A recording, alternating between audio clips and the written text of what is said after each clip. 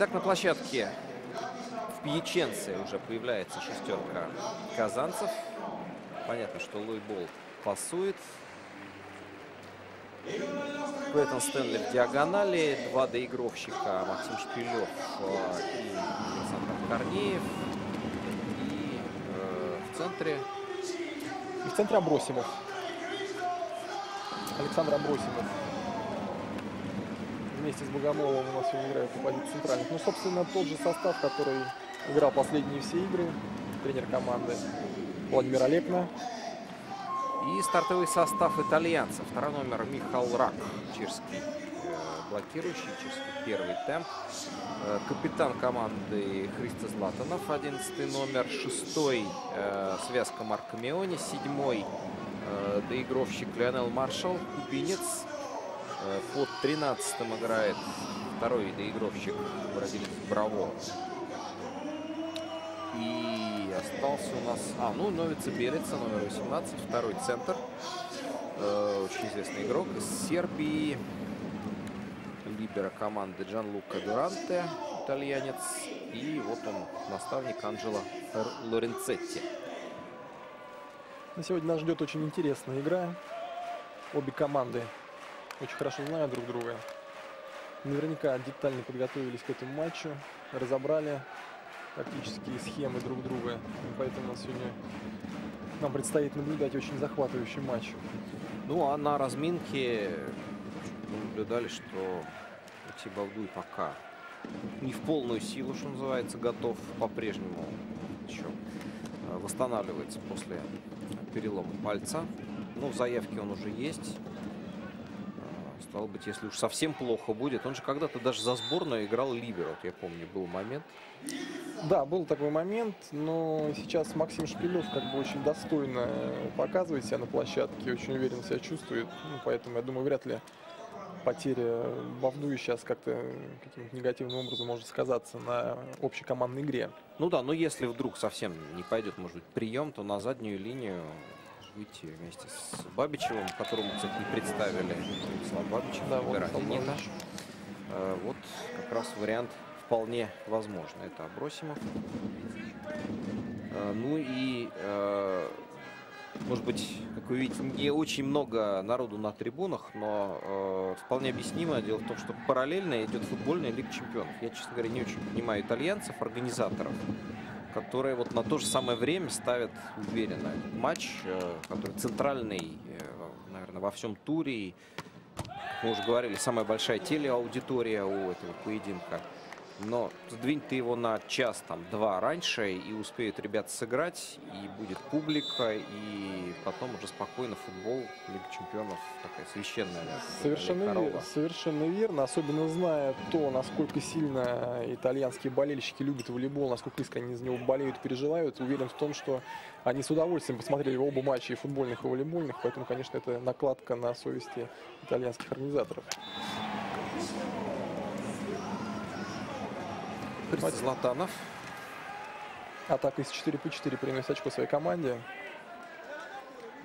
Счет 2-2, но пока команды пристреливаются друг к другу, присматриваются. Сначала партия. Сейчас потихоньку оба коллектива начнут набирать игровой ритм, входить в игру. И мы уже потом увидим настоящий серьезный волейбол. Ну, для меня, честно говоря, удивительно, что итальянцы дома уступили один сет голландскому Апельдорну.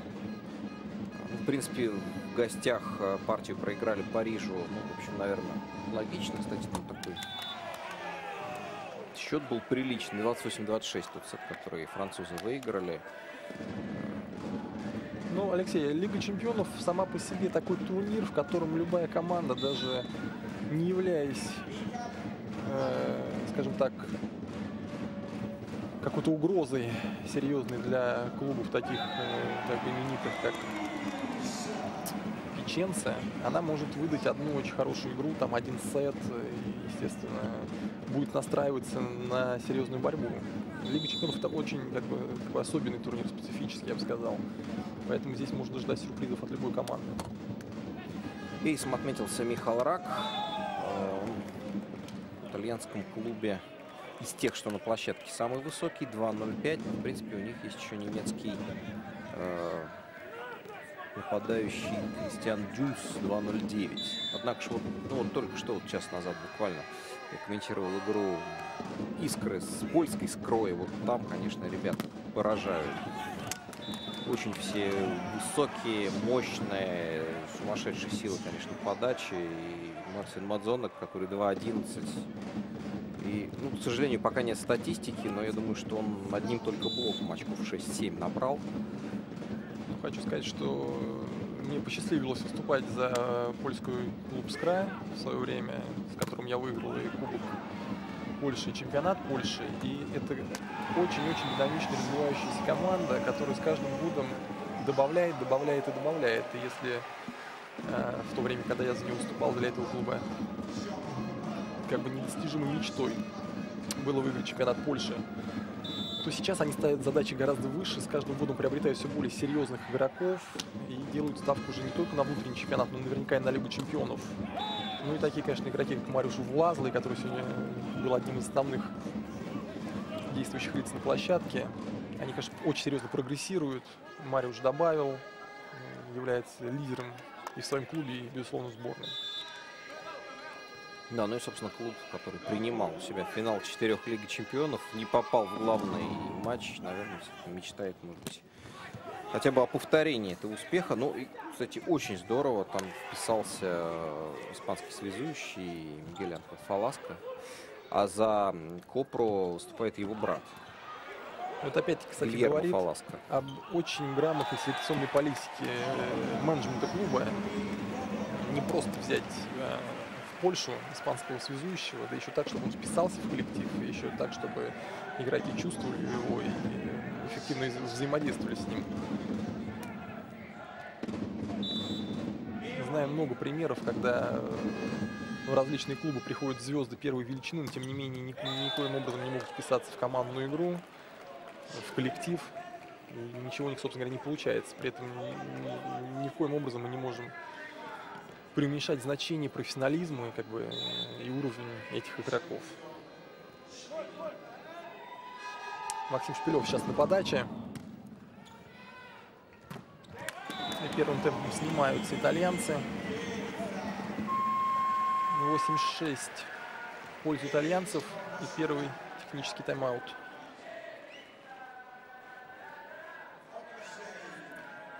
Последний матч в чемпионате коллективы выиграли. Итальянцы в гостях а, у Падуи э, выиграли 3-0. А казанцы в Ярославле одержали победу 3-1.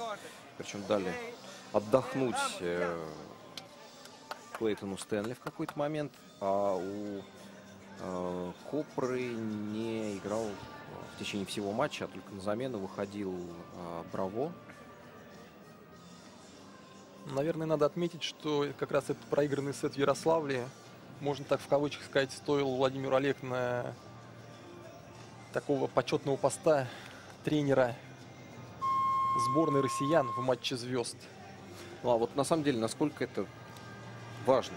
Как ты считаешь? Потому что, в принципе, это же тебя вырывает там из той же клубной жизни на несколько дней. То есть, понятное дело, там праздник для зрителей, но для ребят, для тренеров это, в общем, какая-то дополнительная нагрузка, минус лишние там пару-тройку выходных, потому что тем более, что это в Сургуте будет, перелет туда-обратно.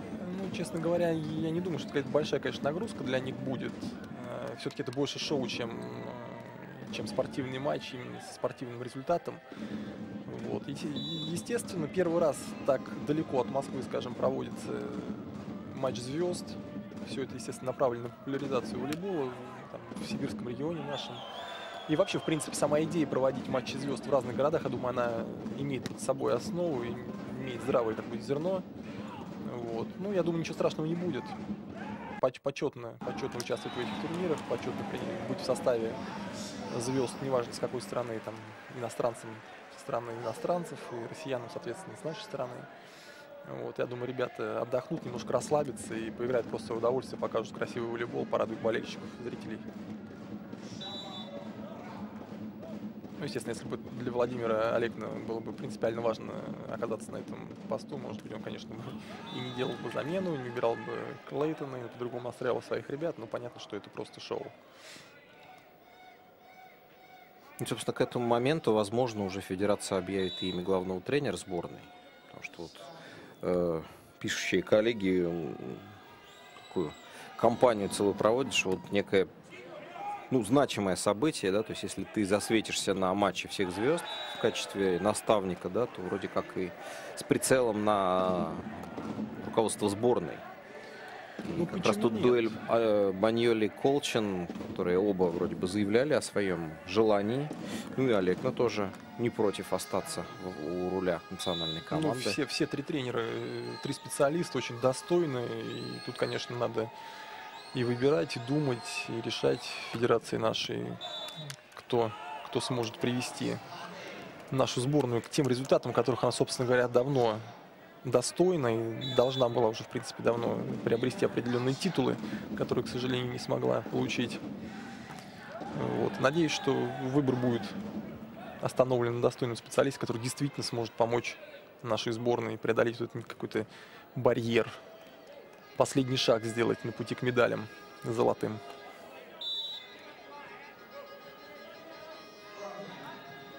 Но ну, в Печенсе, как мы видим, пока пристрелка продолжается. Счет равный. Вот то итальянцы пару очков ввели, теперь наши выходят вперед.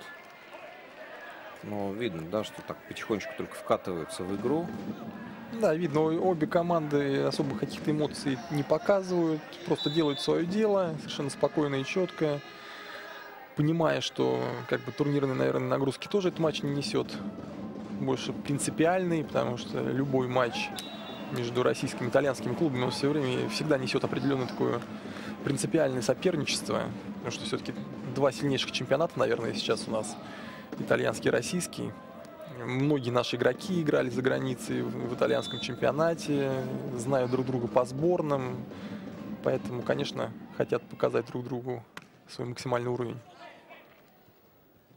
Кстати, тоже я вот вспомнил э, игру в Польше, и как раз тоже вот примерно этот счет, когда э, поляки оторвались от э, одинцовцев, и насколько там как раз был совсем другой эмоциональный накал в присутствии 9 тысяч зрителей. И, собственно, и у самих ребят глаза горели с самого начала, в принципе, и у наших, и у хозяев. Есть, вот опять же, но опять, возвращаясь к тому времени, когда я выступал за этот клуб, хочу сказать, что, конечно, таких болельщиков, каких я видел в Польше, я не видел, наверное, больше нигде. Я поиграл во многих чемпионатах это действительно фанаты, фанаты клуба, которые болеют безостановочно, неважно, выигрывает клуб, проигрывает на протяжении всего матча. Всегда, на любой игре, с аутсайдером, с лидером, ну, естественно, с лидером, с лидирующими серьезными соперниками приходит огромное количество людей, огромный зал всегда битком. И атмосфера, ну, просто потрясающая. В, так, в, так, в таких условиях там любому игроку хочется показать свой самый лучший волейбол. Просто порадовать и оправдать доверие, оказанное болельщиками. Вот этот дворец в Лодзе, это постоянно домашняя площадка или все-таки в Бельхатове тоже есть? В Бельхатове есть свой зал, да, он просто гораздо меньше по э, вместимости, поэтому они проводят уже выездные матчи в Лодзе, точнее домашние матчи, они как бы, как бы выезжают в Лодзь и там проводят. Я в свое время, конечно, играл в домашнем зале, там вместимость, ну, тысячи, наверное, две, но две тысячи всегда были битком, ни одного свободного места, и все эти две тысячи человек все время безостановочно поддерживают тебя. Это потрясающее ощущение. После блока Богомолова выходит «Зенит» на 2 очка вперед. Бол на подаче. Вот уже на 3. Хорошая подача у Бол выигрывает очко. Вроде бы и не сильная подача. Ну, скажем так, очень коварная она была в разрез между двумя игроками. Естественно, подача идет у игрока четвертой зоны, который оттянулся на прием. И вот еще раз в него, только укороченная. Хорошо, Стэнли сейчас достал мяч.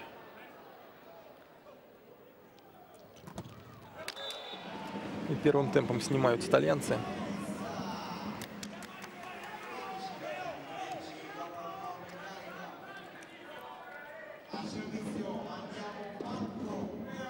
Ну, видим, что сейчас Златанов пытался оживить как-то эмоционально своих э, партнеров по команде.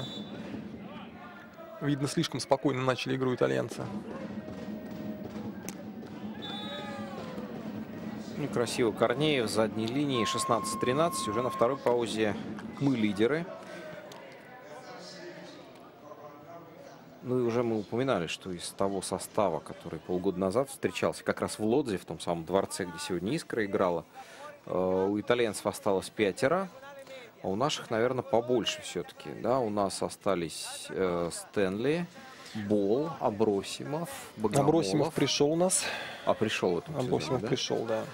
Значит, соответственно, Богомолов, Богомолов, Шпилев, Шпилев, Бавдуй, Черемисин, Апаликов был. Апаликов, да. Ну и Бабичев. либера. Бабичев, да, много лет бессменный лидер этого клуба.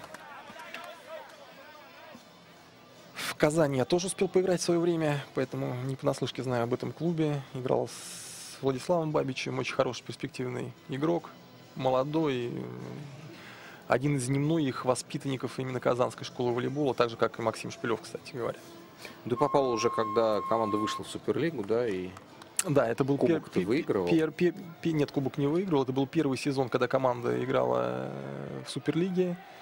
А, э, до меня там уже играл один сезон Руслан Лихвер, благодаря которому, собственно, команда и ага. пробилась тогда в Суперлигу. И пришли в том сезоне Дмитрий Фомин в клуб, я, а, Алексей Жов, если не ошибаюсь. Тоже первый сезон тогда пришел. И сразу сходу мы заняли третье место в чемпионате уже Суперлиги обыграв в плей-оффе Изумруд, как раз в борьбе за третье место. Конечно, это было такое серьезное достижение. Сразу сходу занять третью позицию, бронзовые медали. Вот, мы видим, что команда, конечно, прогрессирует. В прошлом году, наверное, самый у них был успешный сезон за всю карьеру. Выиграли все, что только можно было выиграть. Молодцы ребят. Ну и, конечно, руководство, которое поддерживает этот клуб, и сделал из него действительно гранда мирового, европейского волейбола, мирового волейбола.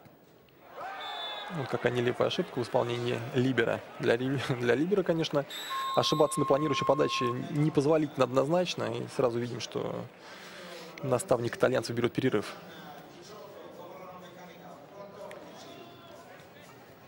да, у нас уже получается второе очко на подаче. Да, и не с самой сложной подачи.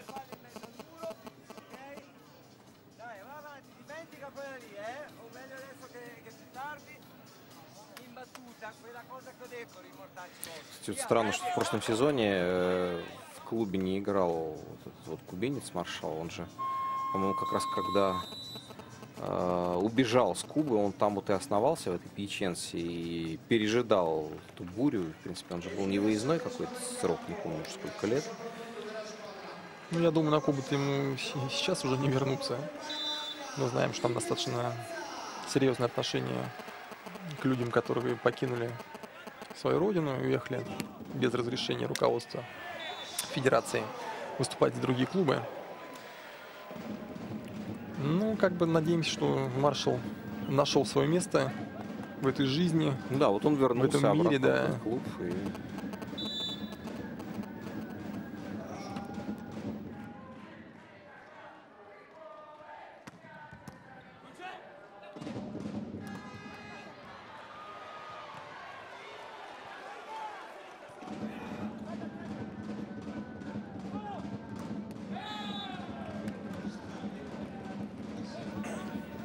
Вколачивает сейчас мяч в поле Стэнли по линии, с задней линии нападал.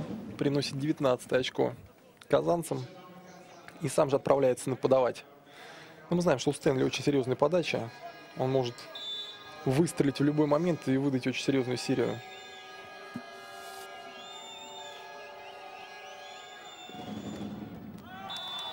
Аут. Да, я смотрю, в последнем матче с Парижем как раз у него было три эйса. Ну, тогда Корнеев лучшим был по этому показателю 4. А вот Маршал, да, вот он хорош тоже в этом плане.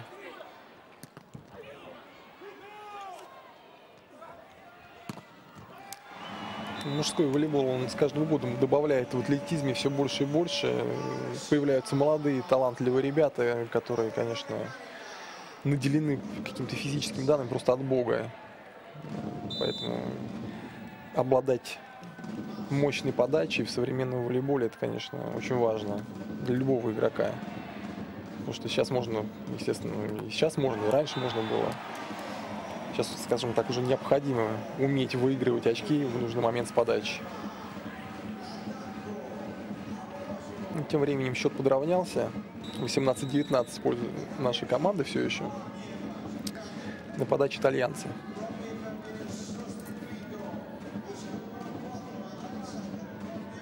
И замена, по-моему, у наших. Смотрим, кто ушел. Ушел Корнеев. Ушел Корнеев.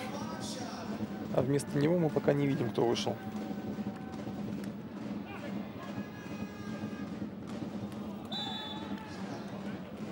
Вместо него вышел Алексей Бавдуй, судя по всему. Да, да, да. Во-первых, потому что больше выйти некому особенно.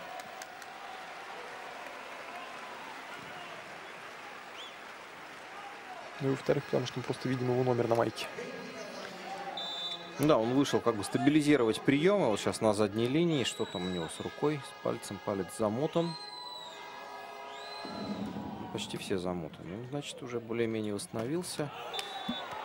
Ну да, вряд ли Владимир Олегин стал бы э, бросать, как говорится, под танки не до конца восстановленного игрока. Это грозит как бы повторным получением еще более серьезной травмы, поэтому наверняка он уже готов выходить. И тренер начинает его потихонечку подпускать к основному, к основному составу. Ну, сегодня то же самое сегодня было в матче «Динамо» Жихострой. Весь матч провел Бережко. А, хотя, э, так как динамовцы выиграли первый сет 25-13, э, ушли в запас э, Данте, Полтавский, Волков. То есть уже доигрывали наполовину резервисты. Ну, нередко выдается возможность тренерам, конечно, использовать своих запасных игроков в матчах Лиги Чемпионов. И то, что сегодня Динамо... Ну, вот на группе, да, на групповой стадии, в общем. Тем более, что группа у москвичей попалась так. Не особо сложная. А вообще, Динамо, что мужскому Динамо повезло с подгруппой в Лиге Чемпионов, что женскому Динамо повезло с подгруппой в Лиге Чемпионов, при этом не умаляя мощи как бы, и серьезности обеих, обоих клубов. Тем не менее, группы у них, скажем так, проходные. Опа. Достанет? Достал Владислав Бавич. Очень сложный мяч. Ну, там, по-моему, ребята засмотрелись на то, как он сносил эти рекламные щиты. Обидно, да. Сравнялся при этом счет у нас. Мы убежали вперед на отметке 12. Увели даже 3 очка. И вот не додержали до конца партии. Это преимущество. Тайм-аут Олекна. Но в игре таких соперников там большого отрыва ждать не приходится. В одну или в другую сторону будет корректироваться счет. Я не думаю, что будет, будет в какой-либо партии большой отрыв одной из команд. Поэтому я думаю, что нас будет снижать. Конечно, интересная борьба. Именно вот постоянно равный счет постоянные качели, как говорят волейболисты, туда-сюда. Ну, на самом деле, я вот то же самое думал и про матч э, Заречи с Перуджей, на котором как раз работал. И вот эта разница плюс 10 в пользу Одинцова в первом сете. Потом сколько они проиграли-то там в третьей партии. Да, матч был потрясающим в том плане, что команда Заречи, она, конечно, укомплектована очень серьезными игроками. Но порой эти игроки делают настолько смешные ошибки, что ну, даже не знаю, что в этот момент сказать. У меня сегодня было любимое слово во время моей трансляции «обидно». Потому что, ну, действительно, просто нелепые ошибки, когда мяч просто падает между игроками. И то мы не можем обижать, один игрок не может обижать второго игрока, то не могут разобраться, то еще что-то.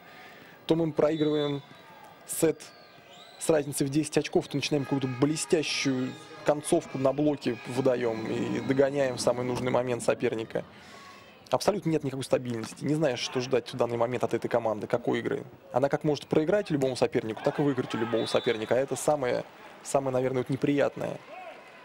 Потому что классные команды, классные игроки, они должны держать тот определенный средний уровень, ниже которого в принципе опускаться нельзя. Ну, по- пока у Зари, к сожалению, она не держит этот уровень. Ну, а Перуджа, ну, какой у нее теперь уровень, тоже непонятно. Они проиграли нам сет, тоже с разницей в 10. А концовку вытащили. Абсолютно, То абсолютно то же такая самое, и команда. про Перуджу можно сказать. Однозначно, однозначно. И именно поэтому она во внутреннем чемпионате занимает сейчас пока что лишь 11 место. И опять пытается найти свою игру с новым тренером, с новыми игроками. Мы помним, да, что только три человека осталось из старого состава, а оста- все остальные новые игроки, которым надо сыграться, почувствовать друг друга. Великие клубы, великие победы, они не делаются вот так просто. Взяли, укомплектовали, привезли хороших игроков и все выиграли. Так не бывает. Коллектив должен вариться в, в своем соку, притираться и, естественно, есть даже определенная статистика и психологическая, там психологи проводили исследования, что в течение, скажем так, а, трансферного периода нельзя, нельзя менять э, в клубных видах спорта э, более, скажем так, трех основных игроков. Ну а в волейболе я бы сказал даже больше двух. То есть костяк команды всегда должен сохраняться. Его можно доукомплектовывать там точной какой-то селекцией на определенные позиции. Но когда остается три человека, 9 приходит, это, конечно, совершенно новый, новая команда, которая неизвестно, как себя покажет. Ну, а Клейтон Стэнли тем временем зарабатывает сетбол. Хорошо, наш после перерыва проводит концовку.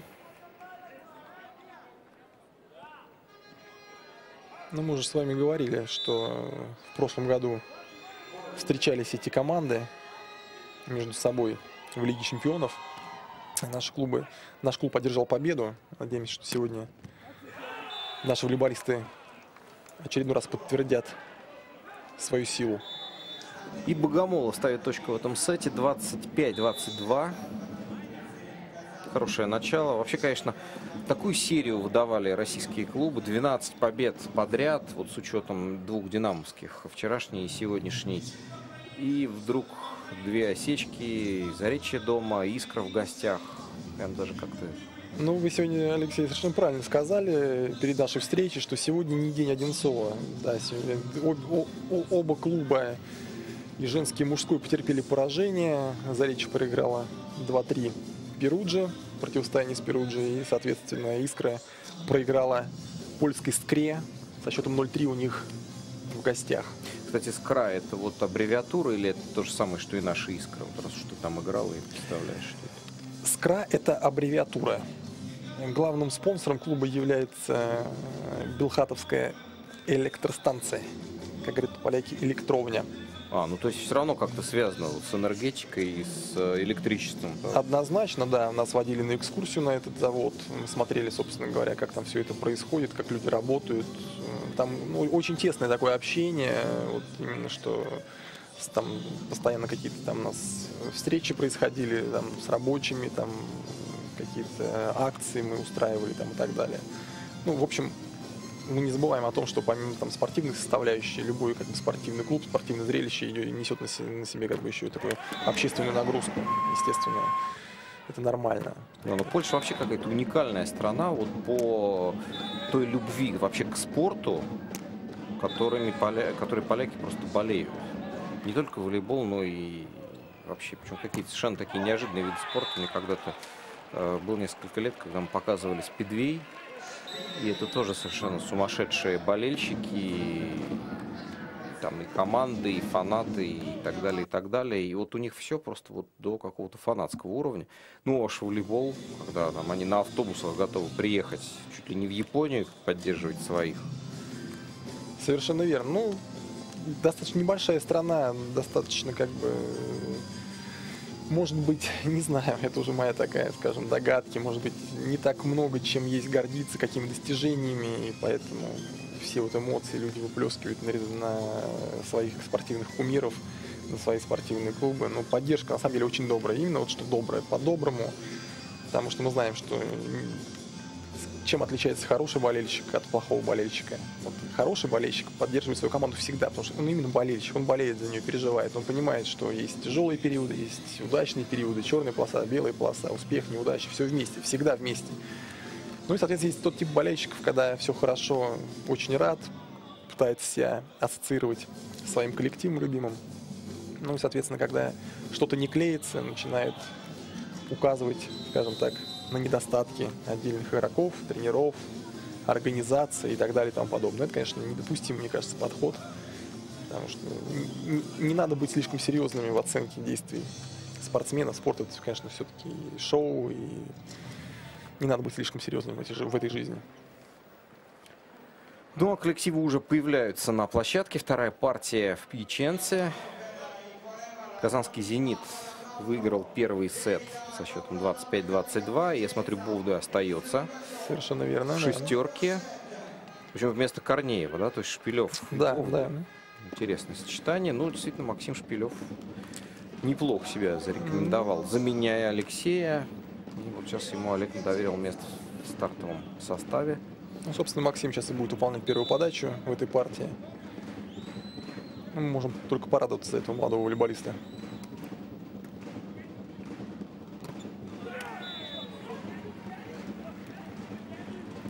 Хорошо, сейчас, в принципе, Богомолов ждал своего игрока. Хорошо прыгнул с ним немножечко. Не хватило ему. По месту проиграл.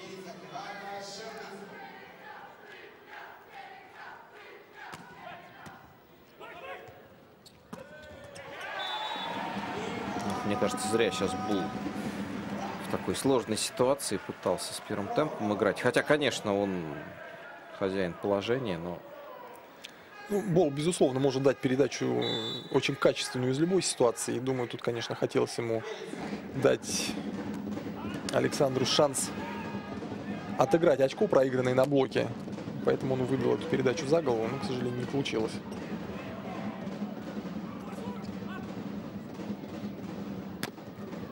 Стэнли сам принял и сам забил. Да, хороший был розыгрыш. Увели центрального блокирующего сейчас видим, да, на Богомолова он дернулся и уже не успел в край, во вторую зону.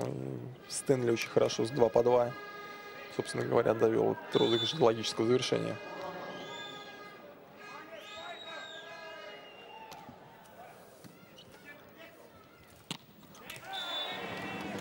Но видим, что при любом удобном случае, в случае хорошей доводки, конечно, пасующие стараются играть очень много первым темпом. Фактически тяжело Тяжело в таких ситуациях бороться один в один с идеальной доводки. На высоте, на скорости. Просто перестрелка такая между первыми темпами.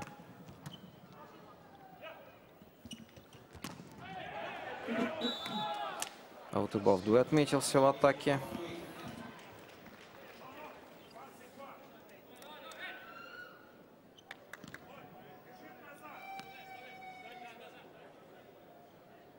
Конечно, он много пропустил. Тут еще такая большая пауза маячит э, во второй половине декабря. Собственно, осталось сыграть вот еще один тур в российском чемпионате. Матч э, с Пьяченцей в следующий четверг уже на своей площадке. И потом пауза аж до середины января. Ну, фактически месяц. Уж месяц. я не знаю, что там «Зенит» будет ли он в каких-то турнирах участвовать или еще где-то. Но вот мне кажется, что такие огромные неожиданные перерывы не, не идут на пользу. То есть просто как-то расхолаживает это, теряешь ритм. Нет, ну, согласен, согласен, согласен, если это касается, скажем, молодых игроков и сыгранных команд. Но для, скажем, ветеранов, коих у нас немало в чемпионате, я думаю, это лишний возможность немножко передохнуть. Но тут тут тяжело делать однозначные выводы. Я думаю, конечно, месячной паузы это, конечно, безусловно, много. Но она, наверное, тоже все-таки чем-то обусловлена. Честно говоря, не, могу сейчас сходу сказать. Чем раньше же вот Чем руководствовались при составлении календаря люди, как бы ответственны за это мероприятие. Раньше в конце декабря кубки проводили, финалы вот эти, и был такой вот праздник под Новый год. Сейчас это все уже позади. Ну, действительно, тоже получился праздник. Очень все интересно было и в Новосибирске, и в Питере. Ну, вот пауза вот эта большая. идея проводить финальные игры Кубка перед Новым годом, мне кажется, вот она очень как бы, неплоха, собственно говоря. Потому что разрывать вот чемпионат, как бы концовку года, я имею в виду календарного, да, не знаю, мне кажется, гораздо более как бы логично провести финал Кубка, это именно что перед, перед Новым годом, а потом уйти на небольшую паузу, там, скажем, две недели. Ну, конечно, все это должно быть взаимосвязано там, с расписанием Лиги Чемпионов, Европейских Кубков, интерес в сборной, если они присутствуют при составлении календаря и так далее. Ну, в этом сезоне, можно сказать, не очень он такой напряженный и насыщенный. Собственно, сборная, отыграв на Олимпиаде, дальше пока нигде не появляется. И Хотя, наверное, кстати, вот я знаю, наверное, чем обусловлена пауза в тех же Еврокубках. Еще там же начинаются первые стадии отбора на чемпионат мира, в которых Совершенно нашим не верно. надо участвовать. Совершенно верно. и девчонкам, и ребятам. И поэтому, в общем, для каких-то стран это важно. И поэтому в Лиге чемпионов такие окна большие. Ну, просто национальное первенство как-то тоже делает перерыв. Но мы, на самом деле, с волейболом-то не простимся на конец года. У нас будут э, два турнира, таких традиционных, рождественских, которые уже несколько лет подряд освещаем. Э, в Швейцарии женский турнир топ-волей с участием московского «Динамо». Традиционно туда бразильянки приезжают. То есть хороший такой приятный турнирчик. И в, во Фландрии, топ, э, Фландерс, не помню, как он точно называется, тот, который Локомотив Белогорье в том году выиграл. Мы это с удовольствием тогда показывали, и в этом году тоже показывать будем. И также там Белгород будет участвовать. Ну и, соответственно, матч звезд.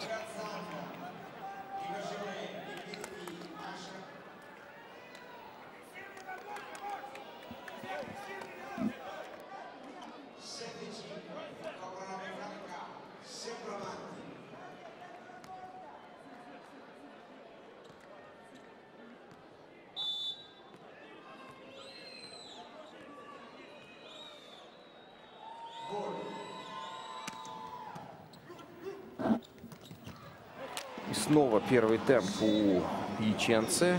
Нам счет перестали показывать. Ну, судя по всему, технический перерыв. Ну судя по всему, итальянцы ведут. Да, как он выкрутился-то сейчас в этой ситуации. Ну да, неудобная передача была. Хорошо, он раскрутил, увел от блока. И уже ничего не оставалось нашим защитникам. Ничего не смогли они сделать с этим нападающим ударом.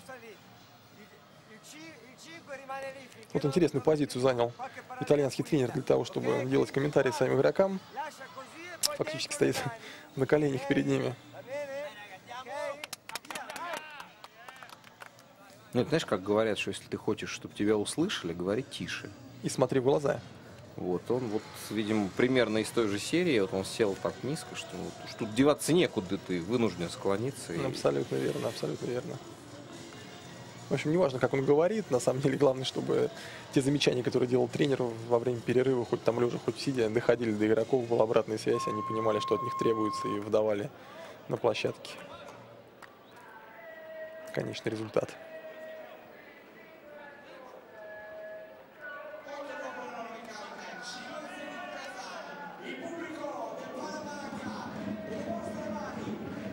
По-прежнему не очень активна публика. Вот, собственно, ее и пытается разогреть э, диктор по стадиону. И Христо Златанов, самый, наверное, активный пока у нас на площадке в составе Копры. Ну, вот и счет появился. Очень кстати. Хорошо. Бабич сейчас играет в защите.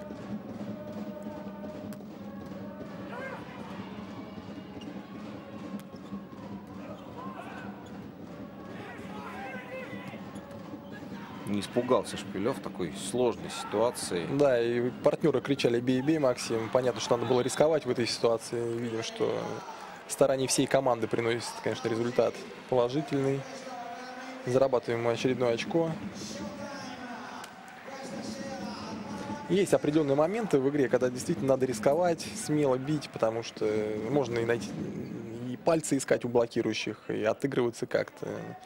Не обязательно отдавать простой мяч сопернику, чтобы он доиграл его и добил до пола. Ну и особенно, конечно, конечно, когда партнеры кричат «бей, атакуй», все. То есть дается игроку карт-бланш, и все, рискуй, все. Никто из тебя не спросит потом, даже если ты ошибешься.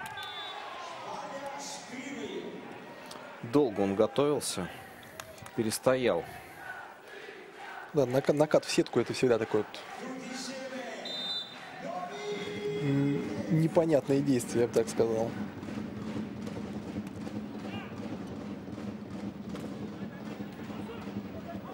Бабичев очень здорово по-прежнему на задней линии подбирает эти мячи. Маршал. Ну, Владислав, он является еще таким мотором определенным на задней линии. Собственно, это и есть часть работы хорошего лидера. Не просто подбирать там мячи в защите и принимать, но именно что заводить, все время быть таким вот моторчиком. Потому что к игрокам позиции либера такое особое отношение в команде. Всегда. Они всегда самые коммуникабельные, самые такие открытые, веселые. Собственно, это тоже часть их, часть их работы на площадке.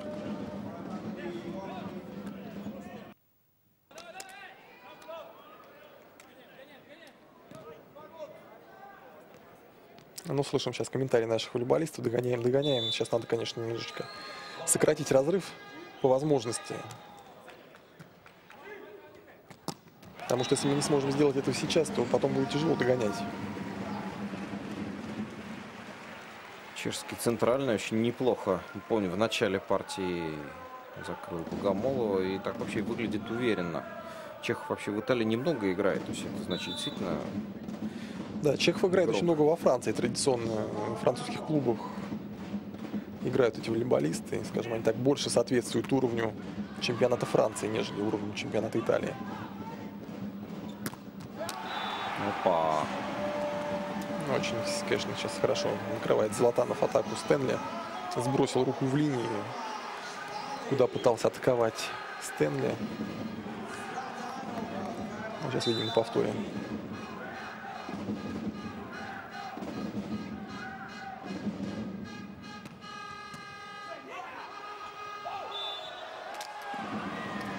И перенос рук на другую сторону. И уже сколько? 13 сейчас будет 7, по-моему, да? Да, 13-7, уже большой отрыв. Конечно, его можно сократить, можно достать, но тяжело, тяжело. В матче таких серьезных соперников недопустимо. Надо стараться. Вот опять второй раз подряд нечеткий прием на ту сторону. Ну, даже не на ту сторону, скорее на трос. И судья два раза подряд показывает, что что бол играет на стороне соперника. Сейчас посмотрим еще раз, что про... Отсюда не видно будет, то есть тут нужно было Да, с другого, ракурса. действительно. А, заступ, сетку. заступ, Заступ заступ, показал? заступ, да, да, да. Вот как раз очень хороший повтор был. Он заступил в чужую сторону. Это правильное решение судьи. Хотя Лой, конечно, сейчас завелся, по-моему. Да, видим, видим мы по жестам, по эмоциям. Ну, безусловно, он просто не видел, где находилась его нога, поэтому и пошел апеллировать к судьям. Находился спиной к сетке.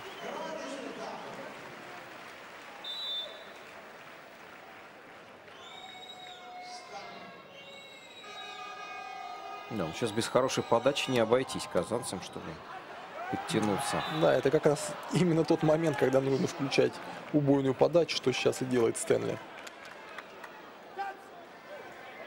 Недоволен Златанов.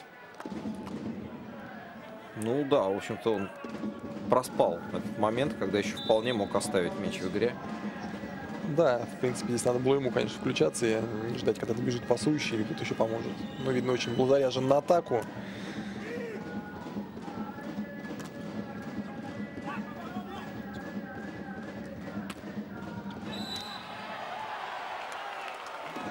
И, видимо, касание сетки у блокирующих. Наши аплодируют. Сейчас посмотрим на повторе. Тут Да, не очень совершенно заветно верно. было, да?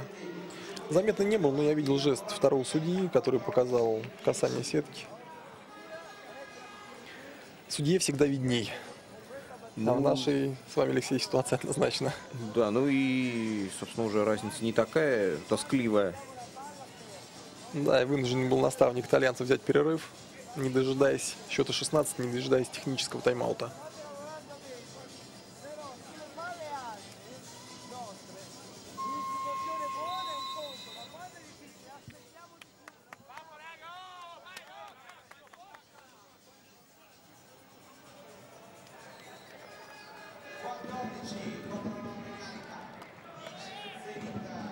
Ну, Стэнли у нас по-прежнему на подаче.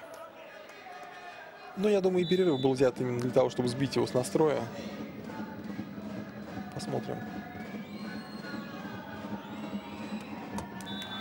Да, получилось. Ну, можем сказать, да, что получилось. Хотя, конечно же, Стэнли игрок такого уровня, с таким опытом, что там тяжело взять просто так и сбить. Ну и, видимо, двойная замена, да, так и есть. Черемисин в диагональ вместо Бола, а Зайцев на заднюю линию пасовать. Вместо Стэнли. Усиливаем мы нашу линию нападения сейчас, линию блока.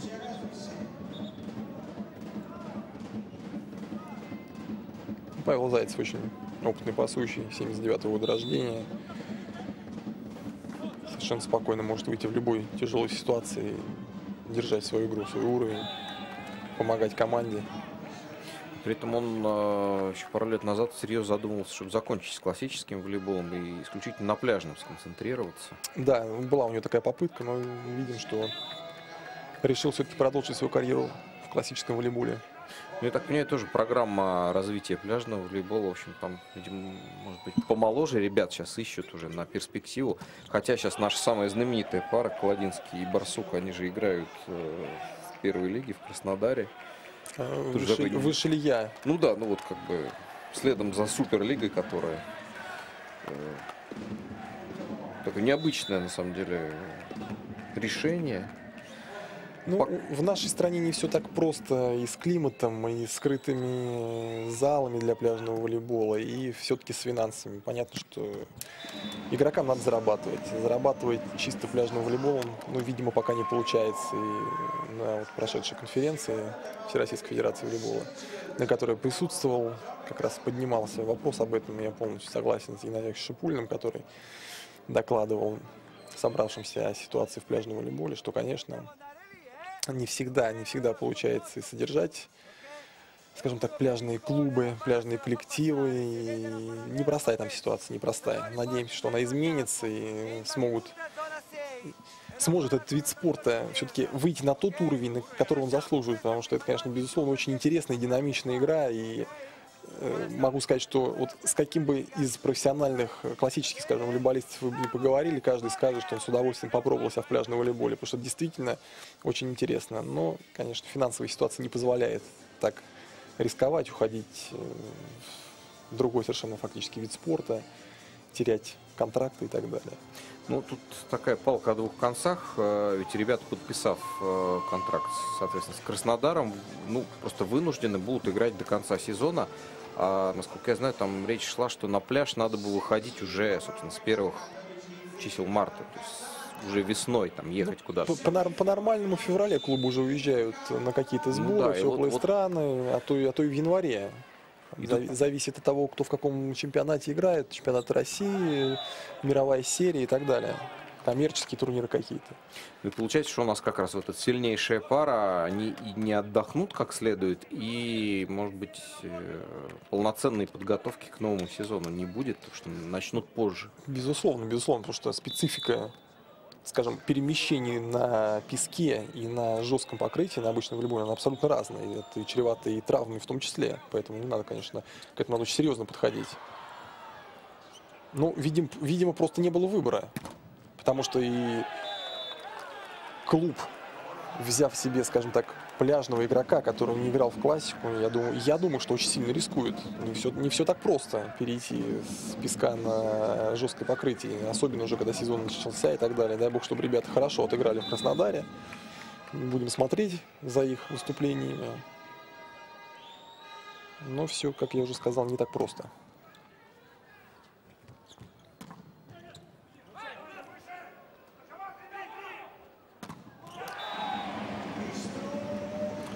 Был шанс подтянуться буквально на один шаг. Да, рисковал сейчас Максим, опять э, партнеры кричали рискуй, но, собственно говоря, три блока все-таки тяжело сейчас было в этой ситуации переиграть.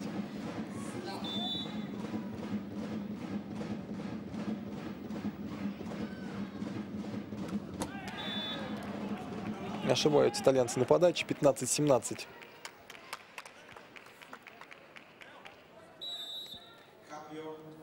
обратная замена. Ну, пока, собственно, только Стэнли появляется, а Черемисин еще свое да, я думаю, подает. Алексей сейчас, да, ему дадут шанс подать, и после этого будет, конечно, произведена замена.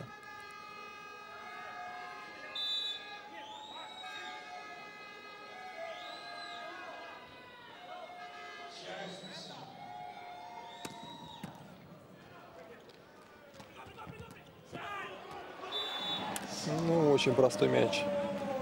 Должен был доставать конечно, Алексей Черемисин этот мяч. Буквально там в полуметре от него он упал. Очень хорошую подачу он выполнил, к сожалению, вот не смог. Видимо, откуда бежал Владислав Бабичев в падении, пытаясь спасти этот мяч. Фактически с пятой зоны. Немножечко ему не хватило, чтобы помочь своему партнеру. Ну, естественно, вернулся Бол в игру. Сразу заряжает первый темп. 16-18. Ну, в этой дуэли Богомолов, Белица, ну, пока, наверное, все-таки в пользу Саши она проистекает. Ага, вот замена. Замена связки, по-моему. Данте Вунинфанте, да, связующий. Э, связующий 77 -го года. Миони 73-го. В принципе, оба достаточно опытные, но Марк Миони, конечно, гораздо более известный. Да, раскрученный игрок. Слуху, да. Фамилия действительно слуху, все его знают прекрасно. За сборную поиграл. Ну, тут не очень понятно, чем вызвана эта замена. Вроде бы все идет нормально, все катится, все хорошо. Может быть, какая-то микротравма, которую мы пропустили, которую мы не видели. Что играли, играли они неплохо, да. Я тоже, честно говоря, не очень понимаю, в чем Опа, причина. Белица. Очень вовремя заряжает подачу и плюс 4 уже в пользу пьяченцы.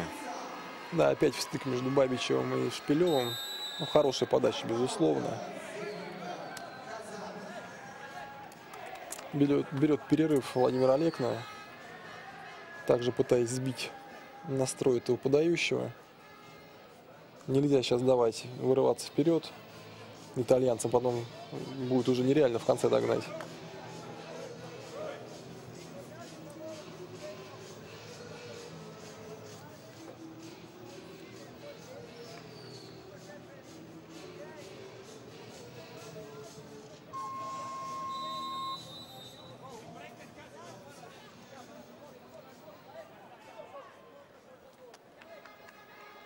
Да, похоже, действительно рядом с Миони доктор крутится. Он там сидел на лавочке.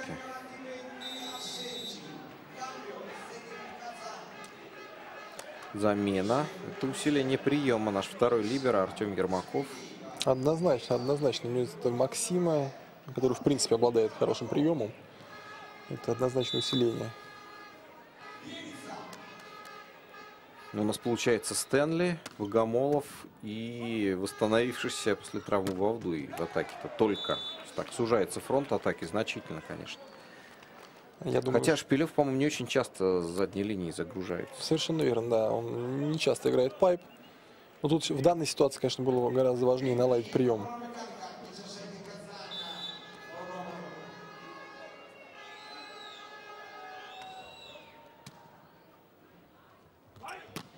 Ну, оставили такую дырку Златанову.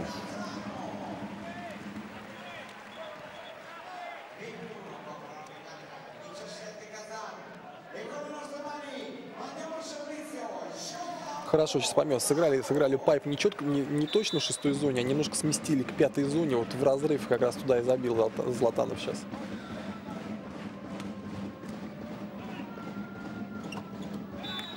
Такие атаки вот в исполнении Златанова, хочу сказать, что это, конечно, очень высокое мастерство, не в плане даже исполнения, а сколько вот в плане взаимодействия нападающего и пасующего, потому что, конечно, традиционно все играют четко в шестой зоне, а когда ты можешь, скажем так, в процессе там розыгрыша мяча там или заранее скорректировать там плюс-минус 2 метра в одну или другую сторону, это именно, конечно, взаимодействие двух игроков очень важно.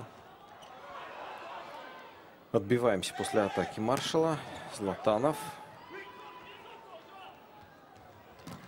Снова кубинец и закрываем его. Да, очень хорошо сейчас играли на блоке. Судя по всему, Алексей Бавдуй отработал. Да. Бавдуй. Абросимов, да? Хорошо, сейчас закрыл линию Алексей.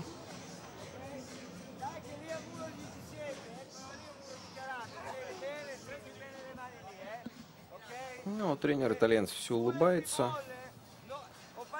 Итальянцы веселые люди, замечательные, жизнерадостные. В принципе, с таким настроем, наверное, и надо играть. немножечко с улыбкой всегда. Наши, наши спортсмены, наши клубы э, еще традиционно страдают, вот, скажем так, тем, что если для итальянцев это как пример, для итальянцев, скажем, волейбол это игра, в которую они играют, то для нас зачастую это э, волейбол это тяжелая работа, которую мы выполняем, трудимся, мучаемся. Это не обязательно, не обязательно касается этого матча, этих команд, скажем так, больше вот Ну, это, по-моему, общий мысли. такой мен- Да, менталитет общий у нас. То ли менталитет, это да. от советского какого-то периода, то ли безусловно, вообще вот безусловно. общероссийская беда. Ну, Для кого не секрет, что в советское время слово «надо» приказном порядке. Это все, конечно, давило на спортсменов. Сейчас мы, Ну конечно, да, с улыбкой об этом говорим. Такие примеры, как там сформирование команды лейтенантов, знаменитая, да, ЦСКА, и, ну, и так Совершенно далее, верно. так далее. А у нас-то, между прочим, счет-то равный. Кстати, практически под копирку сета пишется, только вот в обратную сторону. В той партии мы вели 19-16 и 21 равенство, а сейчас наоборот. Догнали итальянцев к отметке 21, подача Стэнли. Стэнли очень вовремя включает свою убойную подачу. К сожалению, сейчас ошибается, но тут такой момент, что если игрок хочет выигрывать подачу, он все равно будет ошибаться на подаче. И тренеры, и коллектив, они должны к этому готовы быть. Потому что никогда не знаешь, когда выстрелит этот игрок. И он может ошибаться все начало игры, он может ошибаться середину игры, но потом выйти в концовке, точно так же рисковать и приносить очки своей команде. Поэтому это очень важно. И очень важно именно в тренировочном процессе отрабатывать мощную силовую подачу постоянно, с риском. Отстоял заднюю линию Ермаков, вернулся Максим Шпилев на переднюю. Алексей Бабдуй на подачу у нас. Ну, он, наверное, не будет сейчас рисковать, собственно. Хотя... Ну да, Алексей не обладает. Опа! Но сейчас мог бы принести очко. Да, повезло. Итальянцы справились. Златанов очень мощно сейчас атаковал по пятой зоне на высоте. Очень хорошо вложился в мяч. Тяжело было что-то сделать, конечно, в этой ситуации.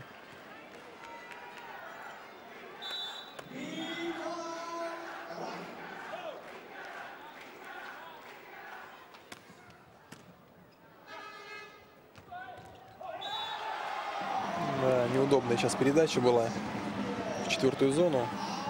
С нашей позиции даже не очень видно, что там произошло. Улетал ли мяч за антенну, либо Максим не дошел до него. Но факт остается фактом. Вот сейчас повтор. Что происходит? Происходит... Да, мяч, наверное, улетал за антенну, да. 24-22.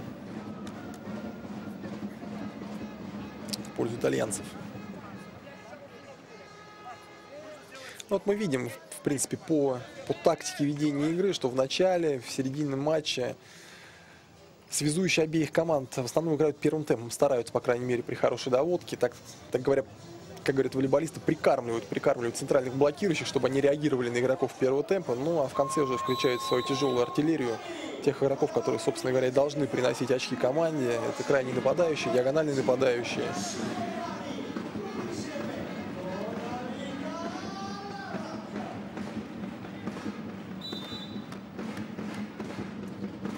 И задержался с тренером и обсуждал, а стоит ли ему прыгать с центральным. Да, Стоит, видимо, сейчас стоит, стоит, да. да, да, да. Но вот это уже пошло такая игра. Игра пасующих с блокирующими. Все знают, кто чего ждет. Все знают, кто куда пасует в концовках. Все это уже много-много раз разобранное. И кто кого переиграет. Сейчас переиграл Бол.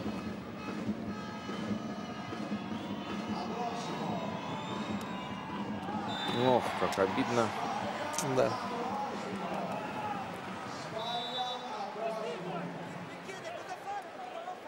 Два последних очка наши собственные ошибки на подаче и вот та Абсолютно. передача Бола за антенну. Ну вот это тот риск, скажем так, недопустимый риск, потому что непонятно. Вроде бы и не рисковал, вроде подача не сильная, при этом 2 метра в аут. Ну, в этой ситуации, конечно, лучше бы, если бы он со всей мощью ввалил ее, пусть также в аут. Но мы бы видели, что это был такой вот риск, что человек настраивался. Конечно, понятно, что там есть установка тренера, рисковать, не рисковать. В концовке обладает человек такой подачей, который с которой может ну, выиграть очко сразу, не обладает. Там много нюансов, естественно. Вот. Ну, в данной ситуации, я думаю, конечно, надо было просто подавать. Ну, в любом случае, счет сравнялся. И, в принципе, мы ожидали, что матч не закончится в трех сетах. Я, правда, надеялся, что Искра тоже в Польше будет дольше, чем три партии сражаться. Ну, в принципе, итоге- Искра в последних матчах показывал н- неплохой волейбол. Единственное, конечно, игра с Самотлором, э, в которой команды играли 5 партий, и только в пятой партии команда Зайденцова смогла дожать, дожать Самотлор и выиграть эту встречу. Говорит о многом, но можно было бы, скажем, рассматривать эту игру как, скажем, такую осечку небольшую. В принципе, команда играла действительно неплохо. И лично я не ожидал, конечно, что хоть и на выезде, но наша команда проиграет счетом 0-3 при всем уважении к польскому клубу. Скажем так, все-таки не совсем закономерный счет. Но, видимо, сегодня действительно не день Одинцова просто. Ну и, кстати, вот Джиб пропустил эту игру с Самотлором. Он и сегодня смотрелся не лучшим образом. Не знаю, может, у него с самочувствием какие-то проблемы. Кстати, я не знаю причину, по которой Жиба не играл, но можно еще предположить, что с Самотлором ему просто дали отдохнуть. Ну да, это вроде логично. Да, но опять-таки, как мы видим, уж не знаю, отсутствие ли Жибы сказалось на качестве игры, но на площадке побывали буквально все, наверное, волейболисты в этом матче. И, конечно, Самотлор мне в, в этой игре очень понравился. Несмотря на то, что они аутсайдеры, они, конечно, бились за каждый мяч. Очень хороший эмоциональный настрой у ребят был. Молодые все, азартные. Приятно было смотреть. и Я думаю, конечно, и болельщики получили удовольствие. Ну, а, скажем, для гиграндов, как та же Искры там, и Динамо, надо всегда, конечно, понимать. И уверен я в том, что клубы понимают, то, что любой, любой клуб, выходя на матч с такими соперниками, как Искры, как Динамо, будет совершенно по-особенному настраиваться, будь то даже аутсайдер. Потому что показать достойную игру в э, противостоянии с такими клубами, это, это поднять свой собственный престиж. Это доказать что-то самим себе в первую очередь. Поэтому все настраиваются по-особенному на, на лидеров. И ни в коем случае нельзя забывать об этом. Заканчивается перерыв после второго сета. У нас равенство в Пиченсе 1-1.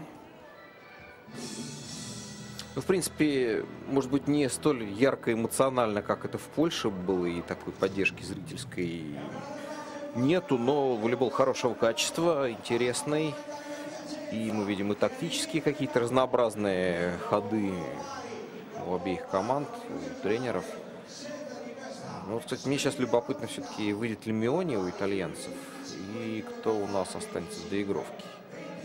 Ну, мне кажется, в доигровке у нас все останется без изменений. Все-таки. Потому что как странно, Корнеев ушел очень быстро. Но мы, к сожалению, сейчас не видим статистики.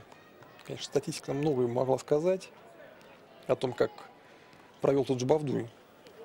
Это время на площадке, и был ли какой-то резон его менять назад и так далее. Ну, что мы видим? Мы видим Бавдуй на месте. Бавдуй на месте. Ну, очко первое забирает Стэнли. Понятно, что Бол пасует. Да, и Максим Шпилев тоже на месте. Шпилев на месте. У итальянцев Миони так и не вышел. Остался второй связующий, Бонинфанте. Остальные все те же самые. Златанов главное действующее лицо, 11 номер. Ну и маршал помогает ему. Номер 7. Еще один доигровщик, бразилец Браво, 13 И центральная белица, ш- э, 18 Ирак, 2 Ну, у нас, как мы уже сказали, все без изменений, тот же самый состав. Сейчас судья показывает касание сетки на блоке у итальянцев, несмотря на то, что они накрыли атаку Стэнли задней линии. Повтор смотрим сейчас. Ну, вот там, видимо, на приземлении, да. Да, видим, что сетка очень сильно трясется. Не знаю, от чего, но верим судьям.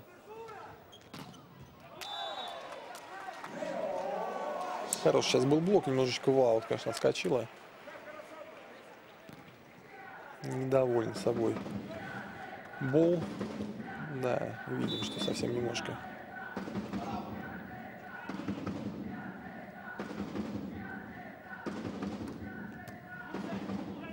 Слышим одинокий барабан. Вызвался Пьяченца. Как мы уже говорили, зрителей не так много, судя по всему, с проходящим параллельным матчем Лиги Чемпионов по футболу. У него бол, конечно, все-таки очень удивляет. Э, человек уже столько играет, уже выиграл наконец-то все, что только возможно. И его страсть и желание в каждом матче. В общем, это, наверное, не только профессионализмом объясняется, вот, видимо, и характер такой, но... Безусловно, безусловно. Просто на одном профессионализме здесь не уехать. Э, для того, чтобы так долго играть на таком уровне, с, таких, с такой отдачей, надо просто искренне любить то дело, которым занимаешься. И мы видим, что человек просто получает удовольствие от своей работы. А это самое важное, когда твоя работа приносит тебе моральное удовлетворение, помимо материального, естественно.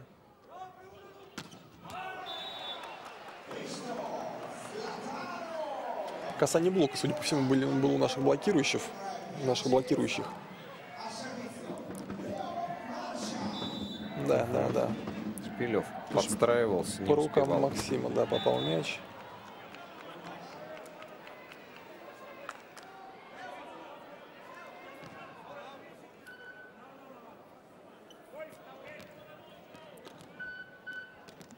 Абросимов на подаче.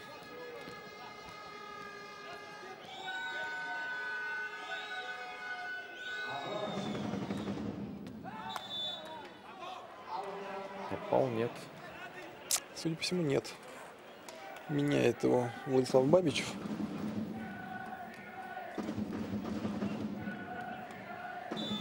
Очень было похоже на площадку.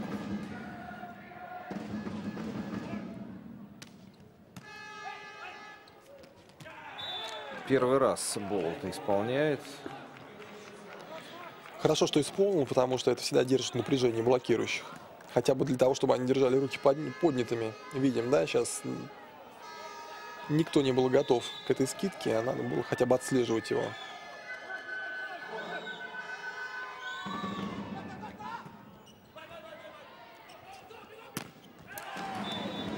Да, ну Маршал, конечно, атлет, как и все, наверное, кубинцы высоченный прыжок.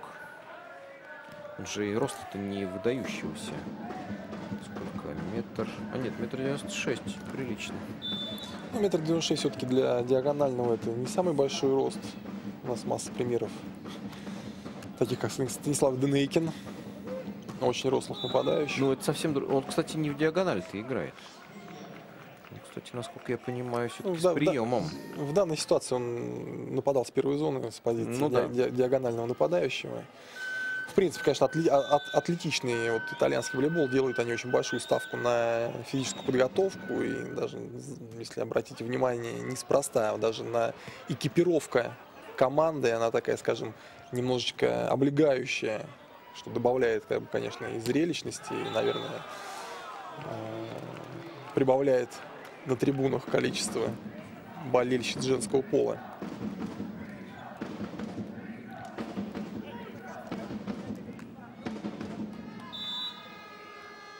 Балдуй одиночным блоком закрыл. Да, очень удачно сейчас действовал Алексей. Чуть было не поймали. Да, ждали, ждали. Вдвоем поднялись против первого темпа наши, наши блокирующие, но, к сожалению, в защите не справились.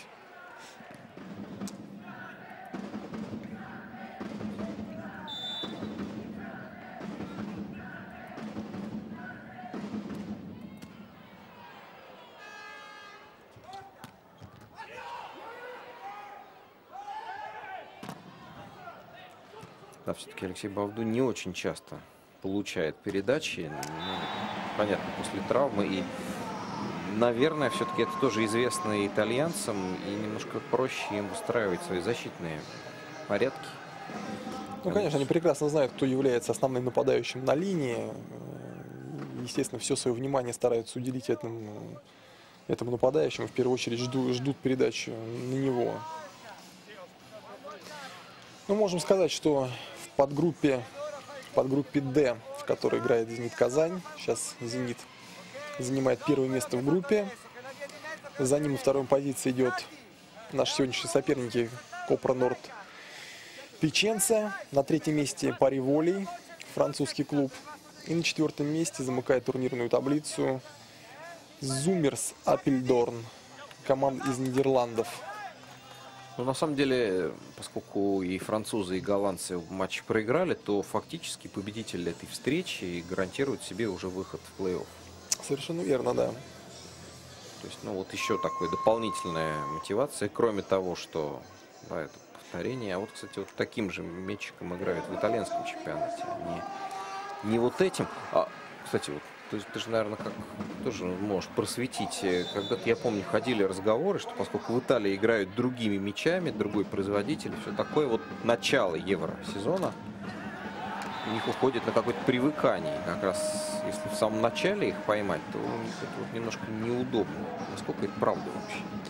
Ну, есть ли разница? Такой момент есть. Нет, безусловно, разница между мячами есть, и она ощутимая, ощутимая, безусловно. Но тут, скажем так, что комфорт на нашей стороне, потому что мы во внутреннем чемпионате играем этими мячами Микаса, которыми Лигу чемпионов, а итальянцев, конечно, нет.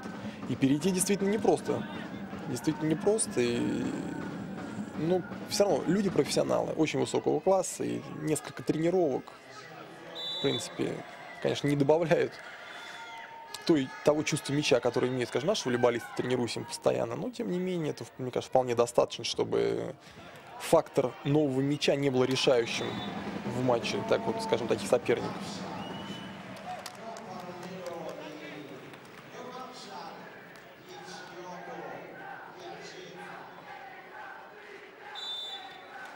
Десять восемь ведет печенца, и они же подают.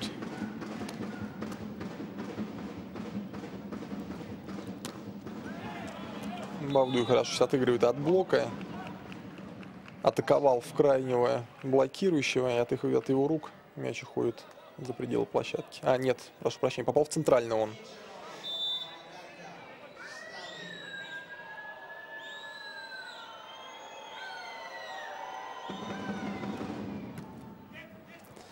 У меня цена подачи Стэнли складывается такое ощущение, что в начале партии, в середине Стэнли просто пристреливается.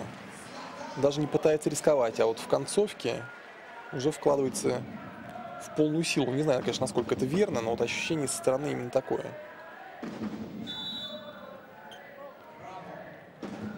А еще как раз к вопросу вот, о мячах. Вот эта новая раскраска просто зрительно немножко уменьшила мяч. Понятно, что размеры те же самые, но вот особенно когда такие гиганты стоят и в одной руке его держат, кажется, что он, он стал поменьше, вообще какой-то игрушечный. Безусловно, и вот эта раскраска, она доставляет определенный дискомфорт во время приема, потому что просто все это летящий мяч с такой скоростью, с какой сейчас подают, там больше 100 км в час, летит мяч при подаче, при хорошей, там понятно, что там и далеко за 100 бывает. Я так просто усредненно сказал. Вот. Особенно если еще вращается, то очень, конечно, некомфортно. Ну, понятно, что пройдет время, все привыкнут к этому и не будут обращать на это внимание, но пока это доставляет определенный дискомфорт для принимающих игроков. Минус 4. Зенит проигрывает и берет паузу.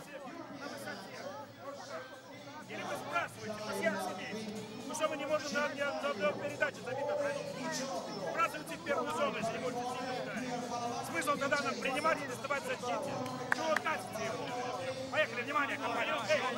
Ну, слышали мы, что сейчас сказал Владимир Олег на претензии к игрокам в том, что на тройном блоке мы сейчас ничего сделать не можем, накатываем, просто отдаем мяч на ту сторону. Призывает он либо рисковать наших нападающих, мощно бить, пытаться найти пальцы, либо, соответственно, скидывать в первую зону.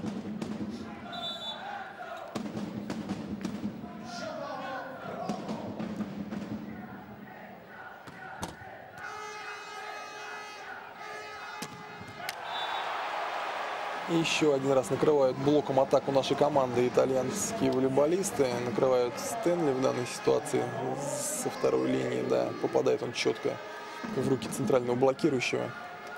И 14-19. Уже серьезный отрыв, конечно.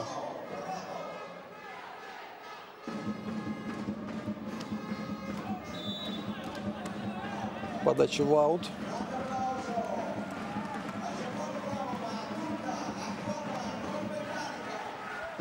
Владислав Бабич, видим, бегает, поддерживает, заводит. Выполняет именно тот объем работы, о котором я и говорил. Ну а вот итальянских фанатов нам сейчас показывают. Кстати, в отличие от наших, э, такие уже не молодые люди, в принципе. У нас совсем э, ребята, не знаю, возраста старших школьников чаще всего. Ну, это, Алексей, вы, наверное, не обращали внимания на болельщиков Одинцовских Нет, клубов. Одинцовск там это своя вообще жизнь, это отдельная история, это, видимо, люди с, э, с корнями, с давними как раз, которые всегда в этом маленьком еще старом зале заполняли, там, по-моему, те же Совершенно самые. верно, да. совершенно верно. С того времени все они ходят, поддерживают клуб, конечно, очень приятно. Кстати, вот в какой-то момент, э, как раз когда, видимо, команда в Новый дворец переехала, вот было ощущение, что ну вот те же самые люди ходят, и все. Вот как-то хотелось расширить э, эту аудиторию. Э, Потому что Ну. понятно, что маленького зала уже не хватало, а в большом там, стабильно оставались свободные места. Алексей, я с вами полностью согласен. И тут очень серьезный, интересный вопрос на самом деле. Я им тоже много раз задавался. И, ну, в принципе, ну, я понимаю, что нужно, например, сделать для того, чтобы привлечь болельщиков на трибуны и что, какую работу надо провести. Но есть определенные сложности а, для того, чтобы, скажем, реализовать какие-то программы, билетные и так далее. Ну, не хочу никого учить, собственно говоря, есть люди, которые за это ответственны, но недопустимо, чтобы на э, матче, скажем, клубов билеты были бесплатные, хотя бы просто потому, что отношение людей к зрелищу, на которое они приходят бесплатные билеты, на которые, собственно говоря, они получают, это совершенно будет другое. Даже если человек заплатит 5 рублей, 10 рублей, неважно. Понятно, что даже для пенсионера заплатить 10 рублей, но все-таки, наверное, это не критично будет. Ну, конечно. Но само отношение к зрелищу, к тому, что, что, что там происходит, оно уже, оно, оно уже здесь кардинально поменяется. Ну, это первый момент. Ну, а второй, это, конечно, есть масса, я говорю, билетных программ, которые создаются, там, эти билетные пакеты, все это продумывается, как и что сделать. И, конечно, все, все можно сделать, можно заполнить там битком этот зал. Не так много у Воденцова зрелищ для того, чтобы не привлечь на трибуны э, болельщиков там, в этот зал в большой. Поэтому, ну, я думаю, со временем руководство решит эти проблемы, и будет, будут там и болельщики, и все остальное. Я думаю, это вопрос времени. Я сейчас очень удивился, показали вот как раз группу поддержки, и половина с э, желтыми Флагами шарфами клуба «Скра», польского да, да, да, Вот это непонятно внимание. откуда. Поляков в составе нет. Вот что там? Или, не знаю, может быть, имеется в виду, что один из братьев Фаласка там играет, а второй здесь? Возможно, возможно, да- даже не знаю, не знаю, что сказать, Вот как они оказались. Может быть, просто вот любители волейбола приехали посмотреть. Польши. С Польши, да, не знаю. Ну, как-то вряд ли, при том, что до- дома свои играли такой тоже важный, интересный матч. Надо допустить возможность, что совершенно случайно они оказались в это время в этом месте и пришли поболеть, наверное, тоже вряд ли. А тем временем 17-12. Итальянцы впереди.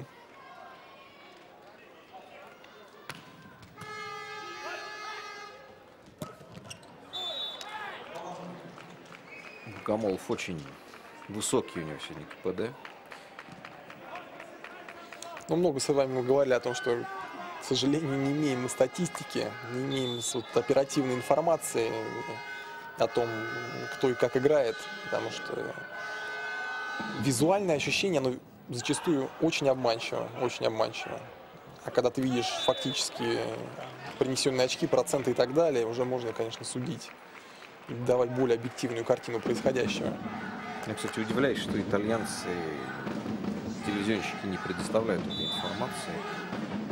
Да, странно, но при этом вот хочу отметить, что, по крайней мере, вот этот матч очень хорошо, очень хорошо снимают, очень хорошо показывают. Вообще, в Италии есть такая традиция, даже не традиция, а совершенно правильный подход, что, скажем, операторами э, матчей э, футбольных каких-то стараются брать людей, которые в этот футбол, в эту игру играли сами, и которые понимают ее, понимают, как ее надо показать. Вот не, не знаю, насколько операторы, которые показывают волейбол, играли сами когда-то в волейбол, но вот показывают они сейчас очень хорошо. Не всегда мы видим такую хорошую картинку, качественную. Сейчас мы можем, как бы, знаете, как бы находиться внутри происходящего. Очень нам все как бы хорошо видно. И динамика игры, и какие-то технические моменты, тактические. И эмоции как бы изнутри. Поэтому, конечно, это, скажем, такой респект в сторону итальянских операторов и режиссеров.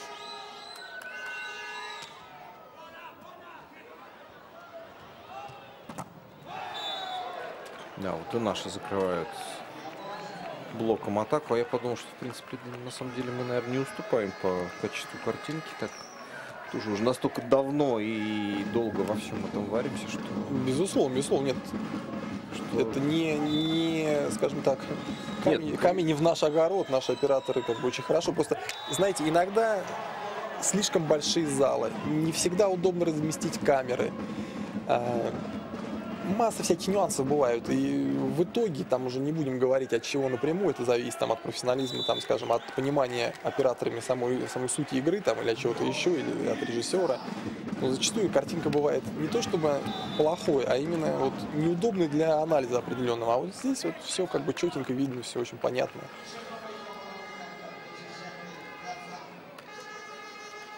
Было бы вообще неправильно говорить, потому что э, телеканал, который, собственно, занимается спортивными трансляциями, хоть как-то где-то там что-то не знает, как сделать. Нет, я кстати, посмотрев на трансляции из Польши, понимаю, что у них есть чему поучиться. Ну, итальянцы, да, итальянцы дают хороший уровень, хорошую картинку. Да, ну, понятно, действительно, они в этом деле тоже профи. Ну, а в концовке третьей партии «Зенит» проигрывает 3 очка. Да, и вот она очередная концовка.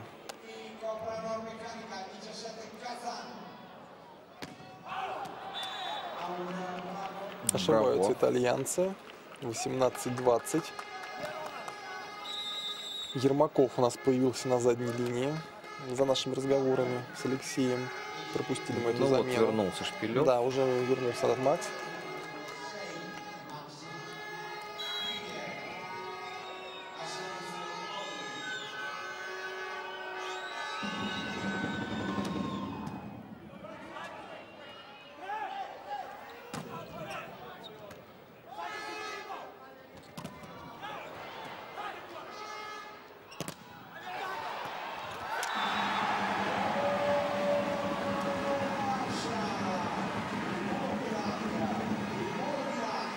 Какой-то эмоциональный всплеск и у зрителей вот после этого момента. Крас- красивый был момент и, конечно, нетипичный, скажем так, фактически стоя смягчили атаку наших волейболистов тут же забили переходящий мяч. Ну, всегда что-то нестандартное вызывает сразу отклик. Да, совершенно верно. Игра ногой там или игра в защите на трибуне. Успел Шпилев. Закрывающийся уже калиточку. Да, хорошее сравнение. Мог бы постучаться в закрытую дверь. И попали. А, нет, нет, нет. Судья, судья что? Судья, по-моему, отдает мяч. Вот смотрим еще раз. Поле, площадке, опустился. да. Максим один в один накрывает атаку итальянского волейболиста. Четко работает судейская бригада. И что у нас там со счетом? Чуть ли не неравный опять. Или одно очко проигрываем. Опять итальянцы немножечко нас... Мы их хвалим, а они нам не дают даже счет в режиме онлайн. Но если верить режиму онлайн, то счет 21-20 в пользу итальянцев. Сейчас посмотрим.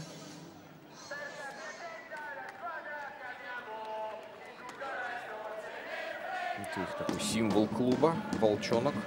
А вот видим, что на болельщике, на фанате итальянцев почему-то шарф Импульс Искры. Да, совершенно верно. 21-20. И уже 22-20. Да, Бунинфанте. Не ожидали мы от него такого подвоха.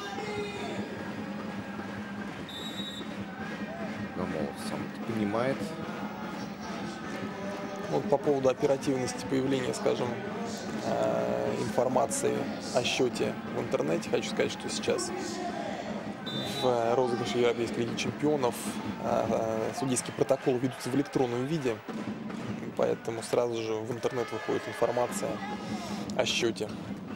Вообще могли бы, конечно, и протоколы технические, все эти статистику тоже давать. Да, Не да, так уж было и бы, сложно. было бы неплохо. Было бы неплохо. Было бы очень удобно комментаторам. Минус 3 опять. И тут уж совсем-совсем концовочка 23-20. И уже и тренер разогрелся. Да, видим, как он радуется каждому выигранному мячу своей команды. Ну, безусловно, поймали кураж итальянцы, завелись. Да, Олег на как-то более отстраненным выглядит. У него где-то внутри эти эмоции. Ну, тради- традиционно Владимир Алик не, не слишком эмоциональны в такие моменты. И, безусловно, конечно, когда решается судьба матча, он так же эмоциональный, как любой человек.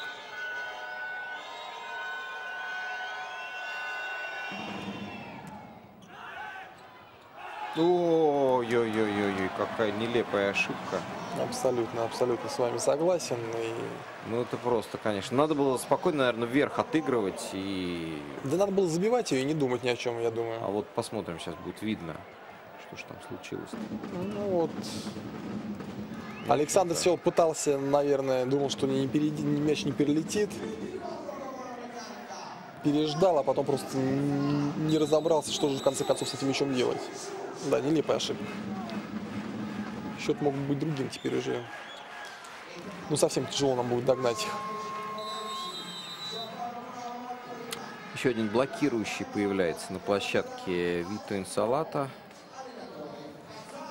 Не успевает он, правда, коснуться мяча. Наши берут вторую паузу.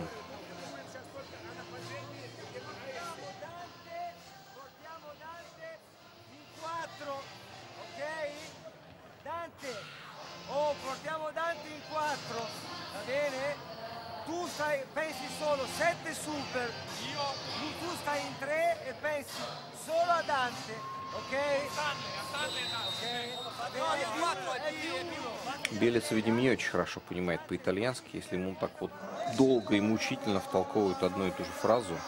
Но слово Данте и Кватро я понял, не знаю итальянского. Ну да, но в четвертой зоне, соответственно... Хотя сейчас же два блокирующих на передней линии, вот им, видимо, надо тоже как-то разделить свои функции. Еще было слово соло. Можно из этого сделать вывод, что они оставят Данта одного в четвертой зоне.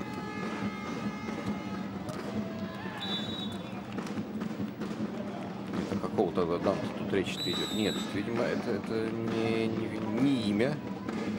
Ну, какое нестандартное решение этого Болла.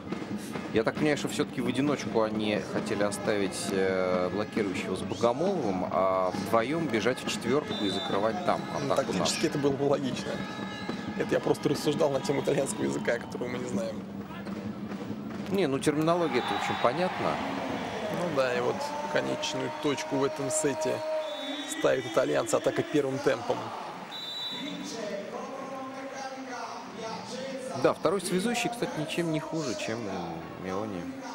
Да, и Белица вколачивает этот мяч в площадку команды из Казани.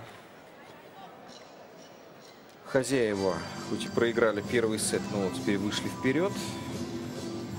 Да, повели итальянцы счетом 2-1.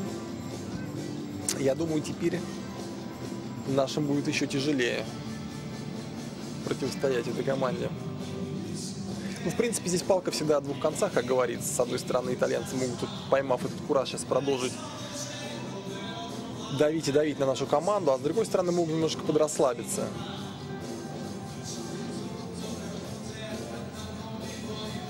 Ну, мне кажется, вот такой уж прям... А, вот послушаем Алекса. Если нет возможности сильно ударить поверх блока, стараться. Скидка в первую зону. В принципе, говорит то же самое, что и на прошлом перерыве. Скидка в первую зону. Э, Такой супер эмоциональной мотивации нет, как вот в том финале, который полгода назад э, ребята выиграли у итальянцев. Тоже уступали же 1-2 по партиям. Да, это Был такой момент. То есть тут вот как раз, э, мне кажется, немножко по воле волн, что называется, пойдет игра. Если получится, то совершенно верно. Я не думаю, что если кто-то сейчас будет выпрыгивать из штанов, как говорится, и пытаться достичь победы любой ценой, ну и, конечно же, недооценивать настрой все равно бы я, конечно, не стал. Хороший матч принципиальных соперников в рамках группового турнира. Вот так бы я оценил сегодняшнее противостояние. Ну да, плей-офф будет нечто гораздо более горячее. Совершенно верно. Ну вот мы, собственно, уже до экватора доползли этой Лиги Чемпионов. Да, и фактически, ну, какие-то можно уже даже и подводить итоги. Клубы наши идут по-прежнему неплохо, несмотря на вот эти две осечки, которые сегодня случились. Московская «Динамо» и мужское, и женское уже гарантировали себе выход э, из группы, в чем, наверное, никто не сомневался изначально. Ну, вот самые сложные соперники, понятно, были у «Искры» изначально и по группе, и, собственно, мы там получаем интересные матчи. Вот эта игра в Германии такая была интригующая, и наши там молодцы проявили характер. Вырвали победу с польскими ребятами. Я думаю, через неделю будет очень интересная ответка. Как раз пока еще свежие эмоции, это обида немножечко. Ну, конечно, конечно. Такая на- на- быть. наверняка они захотят э, отквитаться, скажем так. Ну, а вот насчет команды на своей за-. Заречья в Италии, насколько будет способна, может быть, Я думаю, она будет способная, если они найдут свою игру. Все зависит от них сейчас, не, от соперника. Вот как они справятся со своими эмоциями, как они справятся э, сами с собой. То есть там сейчас, мне, например, очевидно какая-то вот вну- внутренняя борьба, какие-то определенные внутренние проблемы, а не то, что там соперник их переигрывает. Надо поймать свою игру, наладить, наладить прием. Большие проблемы сегодня были с приемом. Ну, собственно, это уже практически месяц, если не больше. Если не с самого начала вообще сезона, говорится. Да. Большое количество, конечно, ошибок невынужденных, что тоже, конечно, мешает. Просто выбивает иногда из колеи. Волейболистов, тем более, не будем забывать, что женский волейбол, он, конечно, специфичен. Там масса нюансов присутствует в психологии игроков, в психологии женщин. Вот, поэтому там все гораздо сложнее, нежели чем у мужчин. И со- совокупность всех этих факторов, она, конечно, может влиять очень сильно на результат.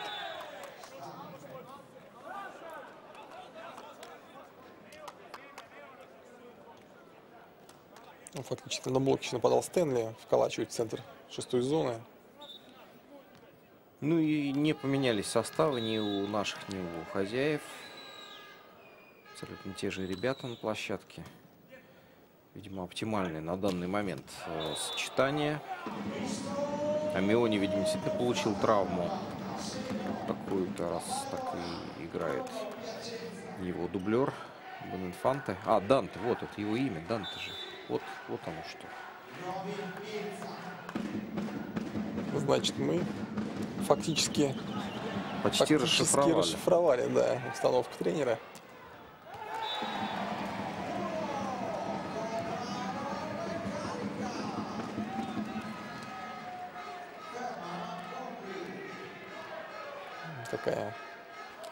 Яркая мимика сейчас была. у Наставник итальянцев. Опять приемчик немножечко захромал. Тут, конечно, хочется не отпускать сразу, то есть, чтобы вот не было понятно, что игра сделана. Хочется борьбы до конца. Ну, совершенно верно. В принципе, мы видели борьбу постоянную, но что-то расклеилась сейчас наша команда. Видим, смотрите, как мощно сейчас 4 по 4 заби- забивали итальянцы. На кураже, на кураже сейчас они играют. Ну, а сеньор Лоренцетти встал с колен уже. Может себе позволить. Уже, да, Уже поднялся и в скажем. собственных глазах. И ребята уже стоят.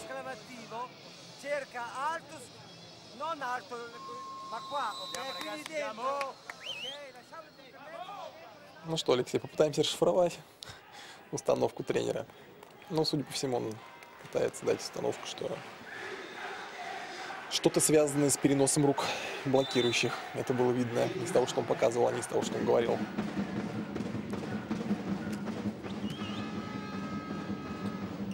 Опа. Повезло нашим. Явно несогласованность Бола и Абросимова. Я бы сказал, здесь такая небольшая авантюра. Бола, смотрите, пасовал фактически очень из неудобной ситуации. Это был фактически прострел. Ну, Хомутских-то регулярно такое делает. Да, Вадим любитель, любитель. Практически лежа на полу. Метра шестого. Да, легко.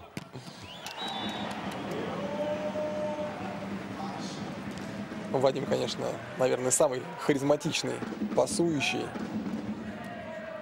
нашего чемпионата. И приятно, конечно, смотреть на этого игрока и на то, как он ведет себя на площадке. Побольше, конечно, таких харизматичных игроков, и волейбол был веселее, красивее.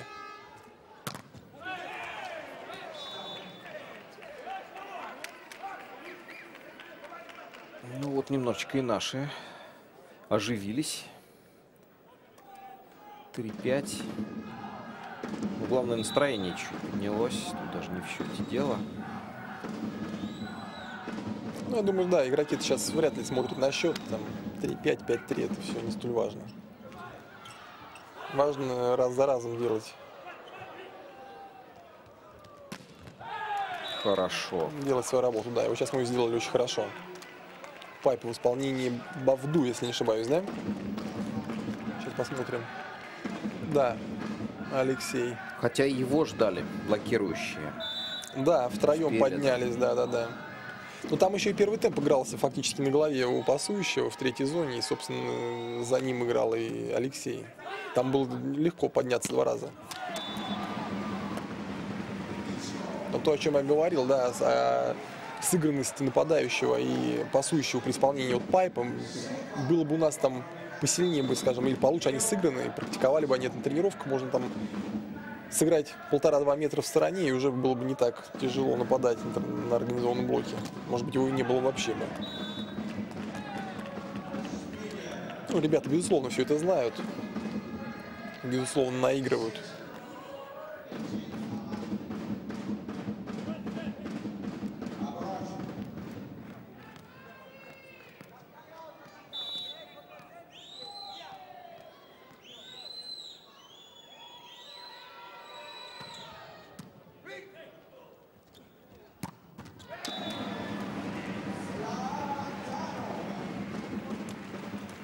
Златанов по диагонали сейчас атаковал. Вбивает мяч в пятую зону. Даже показалось, что попал в ногу Алексею Бавдую. Но удар был настолько мощным, что, конечно, обработать его не представлялось никакой возможности.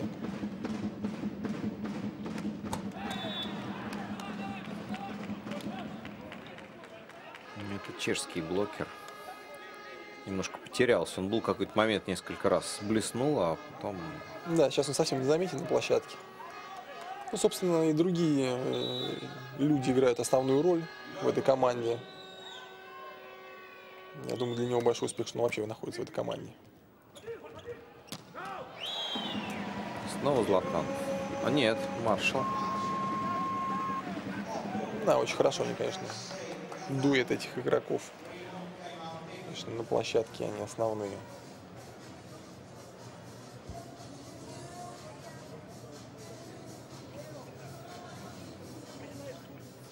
Первая техническая пауза. Слушаем наших. Бьет сейчас диагональ. Тяжело, блок справляется. Бьет и туда, и туда. Но защита, это в пятой зоне. Сделайте движение вперед. Вы ждете, вы окопались, блядь, как будто он в вас попадет. Не попадет. Поехали! Мы слушали комментарии Владимира Олегна. Говорит о том, что Златанов сейчас нападает в пятую зону по диагонали, надо нашим защитникам выдвинуться немножечко вперед. Не, доходят они до мяча, мяч остается перед ними, естественно, нам работать его тяжело. Вот. А заняв позицию немножко глубже в площадке, уже будет гораздо проще.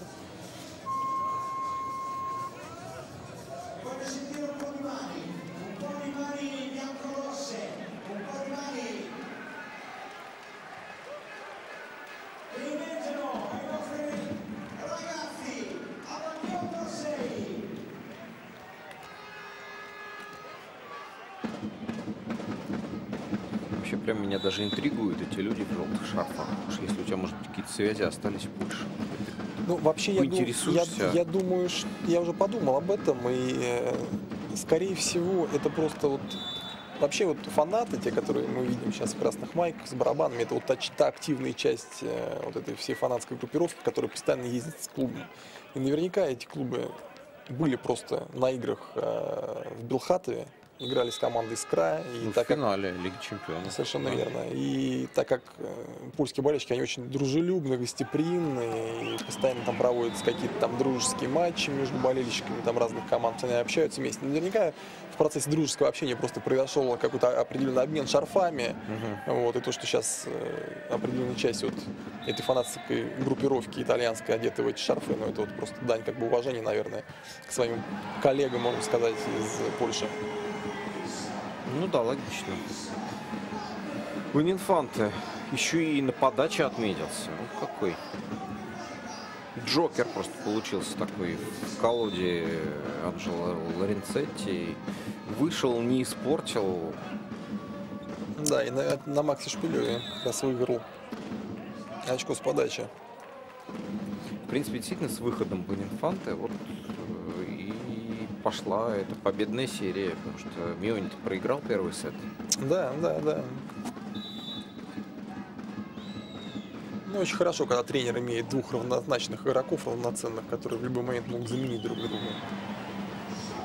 И вообще, команды, команды такого уровня, которые ставят перед собой высокие задачи, там, скажем, в различных турнирах, как в чемпионате внутреннем, так и в Лиге чемпионов, скажем, или там, как в Европейском кубке, достижение этих целей невозможно без длинной скамейки запасных, не просто запасных игроков, а именно что равноценных запасных.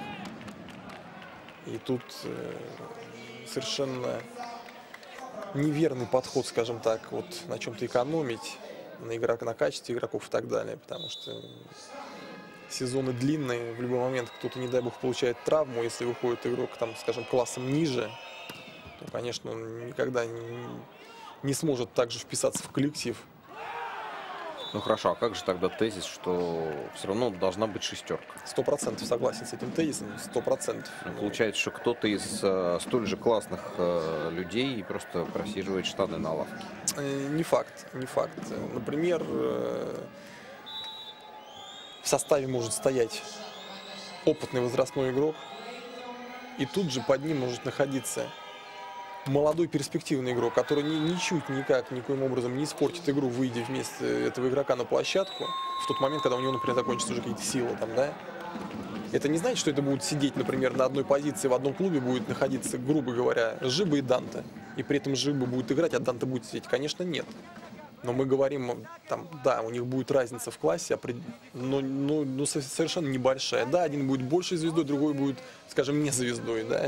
Один раскручен, там, другой не раскручен, но уровень будет примерно один, один и тот же. Stretto spara la palla anche in situazioni di palle Но тут э, Синерол Лоренцетти берет перерыв, поскольку наш счет сравняли. Вот этот эйс Стэнли в какой-то степени повезло. Сеточка нам помогла, но счет по 11. Это, конечно, нас не может не радовать. Да, выровняли наши ребята свою игру.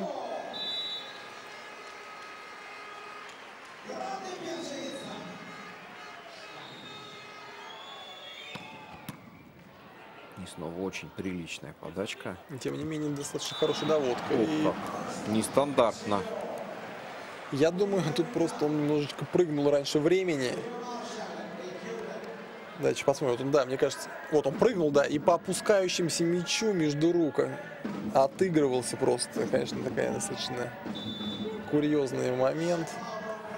Ну, завис, реально завис в воздухе, как это же говорят, перевисел блокирующих. Вот это вот на самом деле так. Немножечко не соглашусь все-таки. Тут не перевисел, все-таки наши блокирующие просто не верили в то, что может, что, что может произойти какое-то серьезное там атакующее действие. Просто руки свои убрали и не держали их до конца. Если бы они держали и не образовалась эта дырка между двумя блокирующими, тогда бы ничего, собственно, и не было. Да, есть такое понятие, когда перевисел, но все-таки, наверное, не в этой ситуации немножко.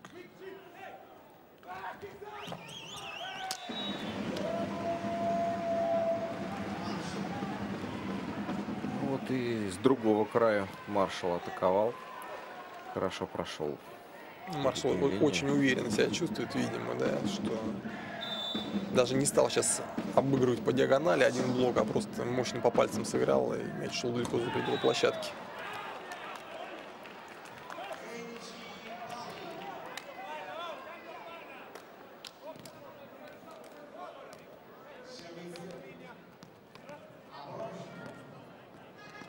Держится равный счет у нас по 13.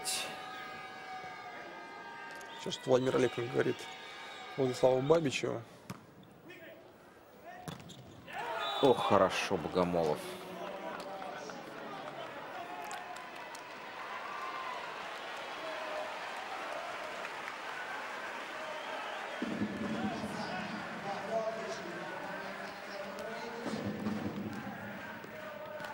Смотрим повтор. Да, один в один.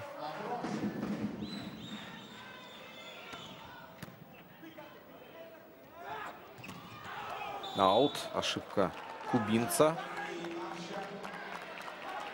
Немножечко его расшатали. Так он уже не так уверенно себя чувствует. Да, сейчас далеко послал за пределы площадки мяч. Ну, как-то неудобно ему было нападать, как он боком нападал. И опять невынужденная ошибка.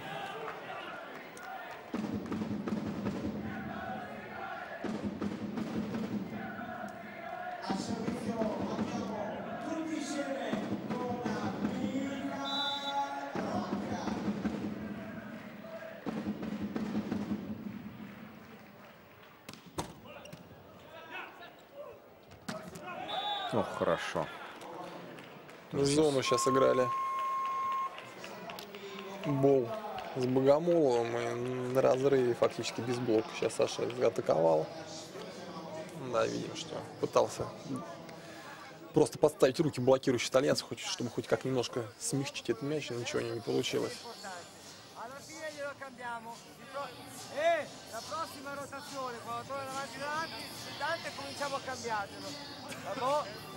Чем-то мне напоминает тренер этой команды французского президента Николя Саркози.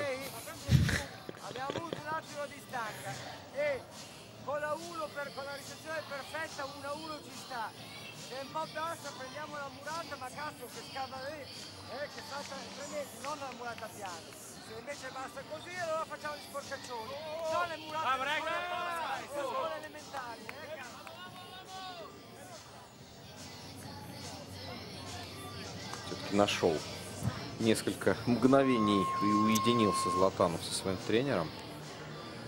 Это как раз, мне кажется, гораздо более важное совещание, нежели вот весь этот монолог э, в адрес э, всех 12. Ну, безусловно, да, лидер команды Златанов. Им есть чем поговорить, что подкорректировать. Но после такого яркого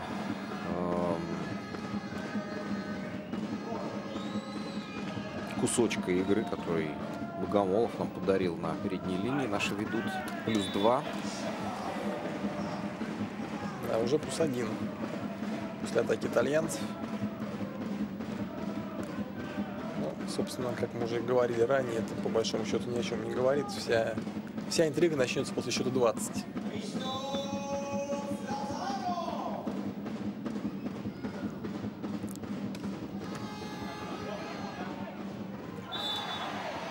Касание сетки. Тут Бенинфанта не выдержал.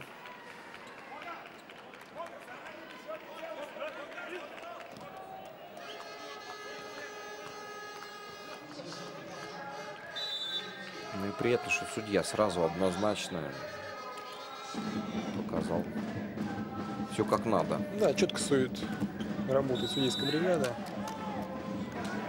Вот теперь уже касание сетки показывают нашим волейболистам.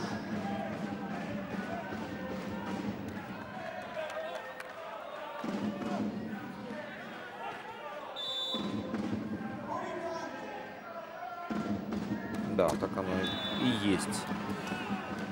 Спасибо итальянцам, что они нас балуют такими подачами. Да, вовремя они ошибаются. Помогают нам держать комфортный для нас отрыв в 2 очка.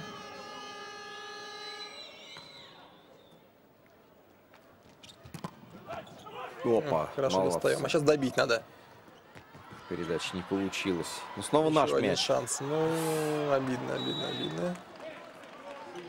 Что сейчас показывает судья?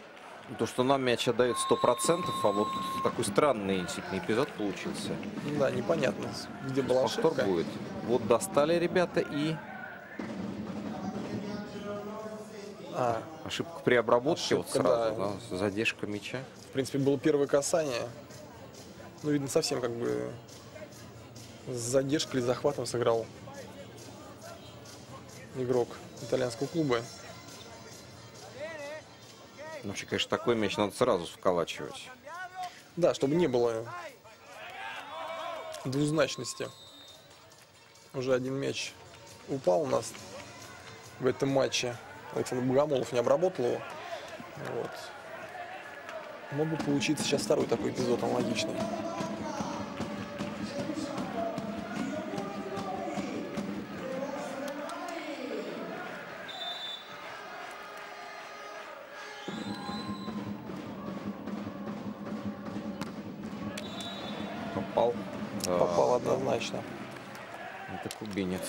Очень хорошо, очень хорошо он владеет своей кистью.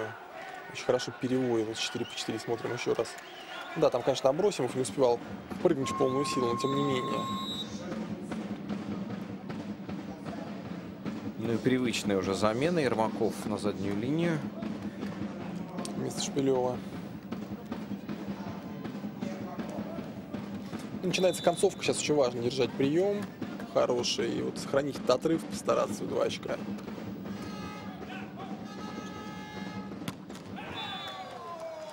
Блестяще, блестяще сейчас. Стэнли атаковал по линии. Мощный на высоте, без вариантов.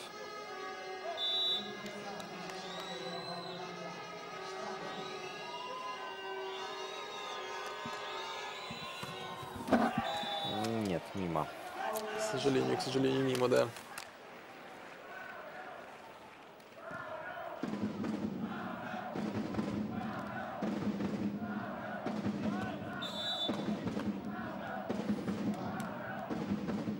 Итальянцы на подаче. Браво будет подавать. Хороший прием.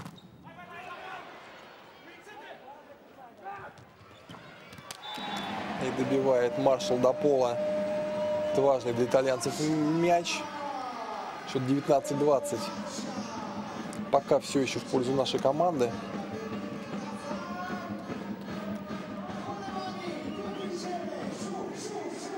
И Браво продолжает подавать.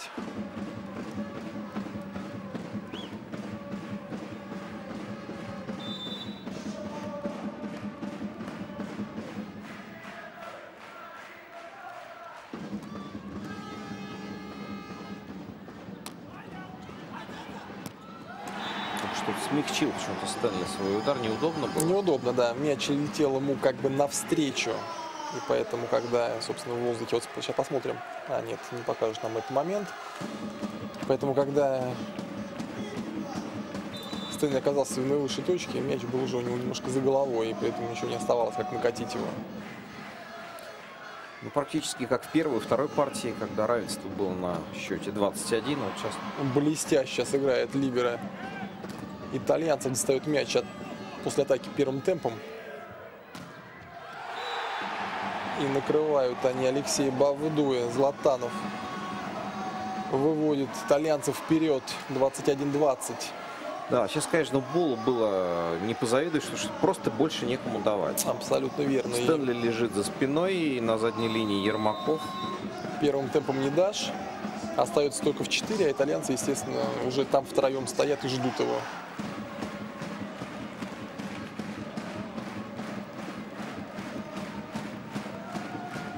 Взять перерыв Владимир Олекна. Нельзя нам сейчас проиграть этот сет.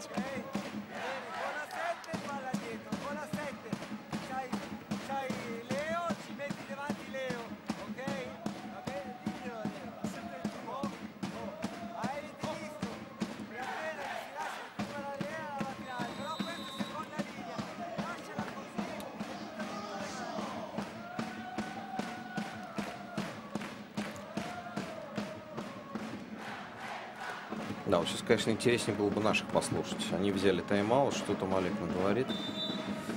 Снова Браво на подаче.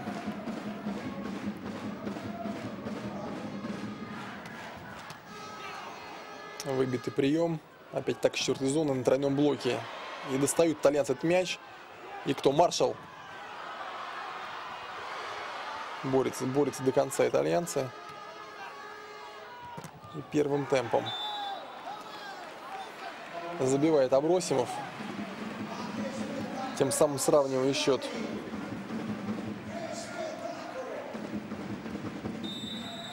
Ну, ждут, ждут его.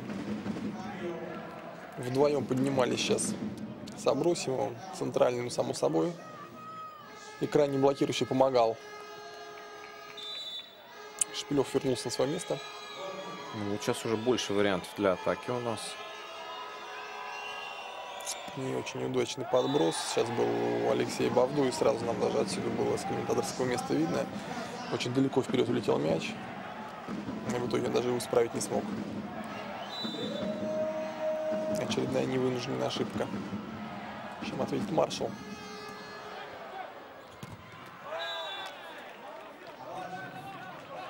Хорошо, Абросимов.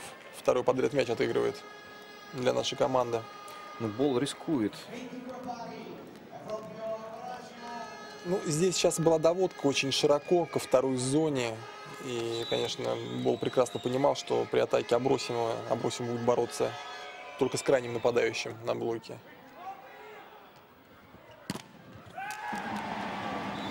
Но мы не забываем о том, что в волейболе решения принимаются доли секунды. И контакт волейболиста с мячом происходит доли секунды.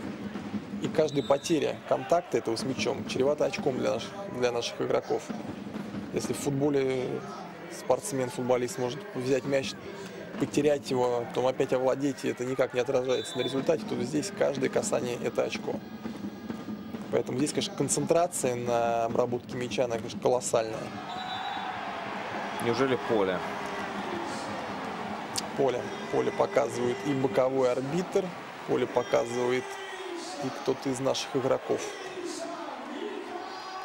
Михал Рак. Вот так он затерялся во второй половине матча. Какой важный мячик Да, мяч забивает. действительно очень важный. Если бы нас сейчас снимали, счет был бы равный. Ну, а тут вариантов Стэнли. практически нет. Стэнли, ну, на 95% ему отдается. Да, к сожалению, к сожалению, не смогли мы справиться с итальянцами сегодня.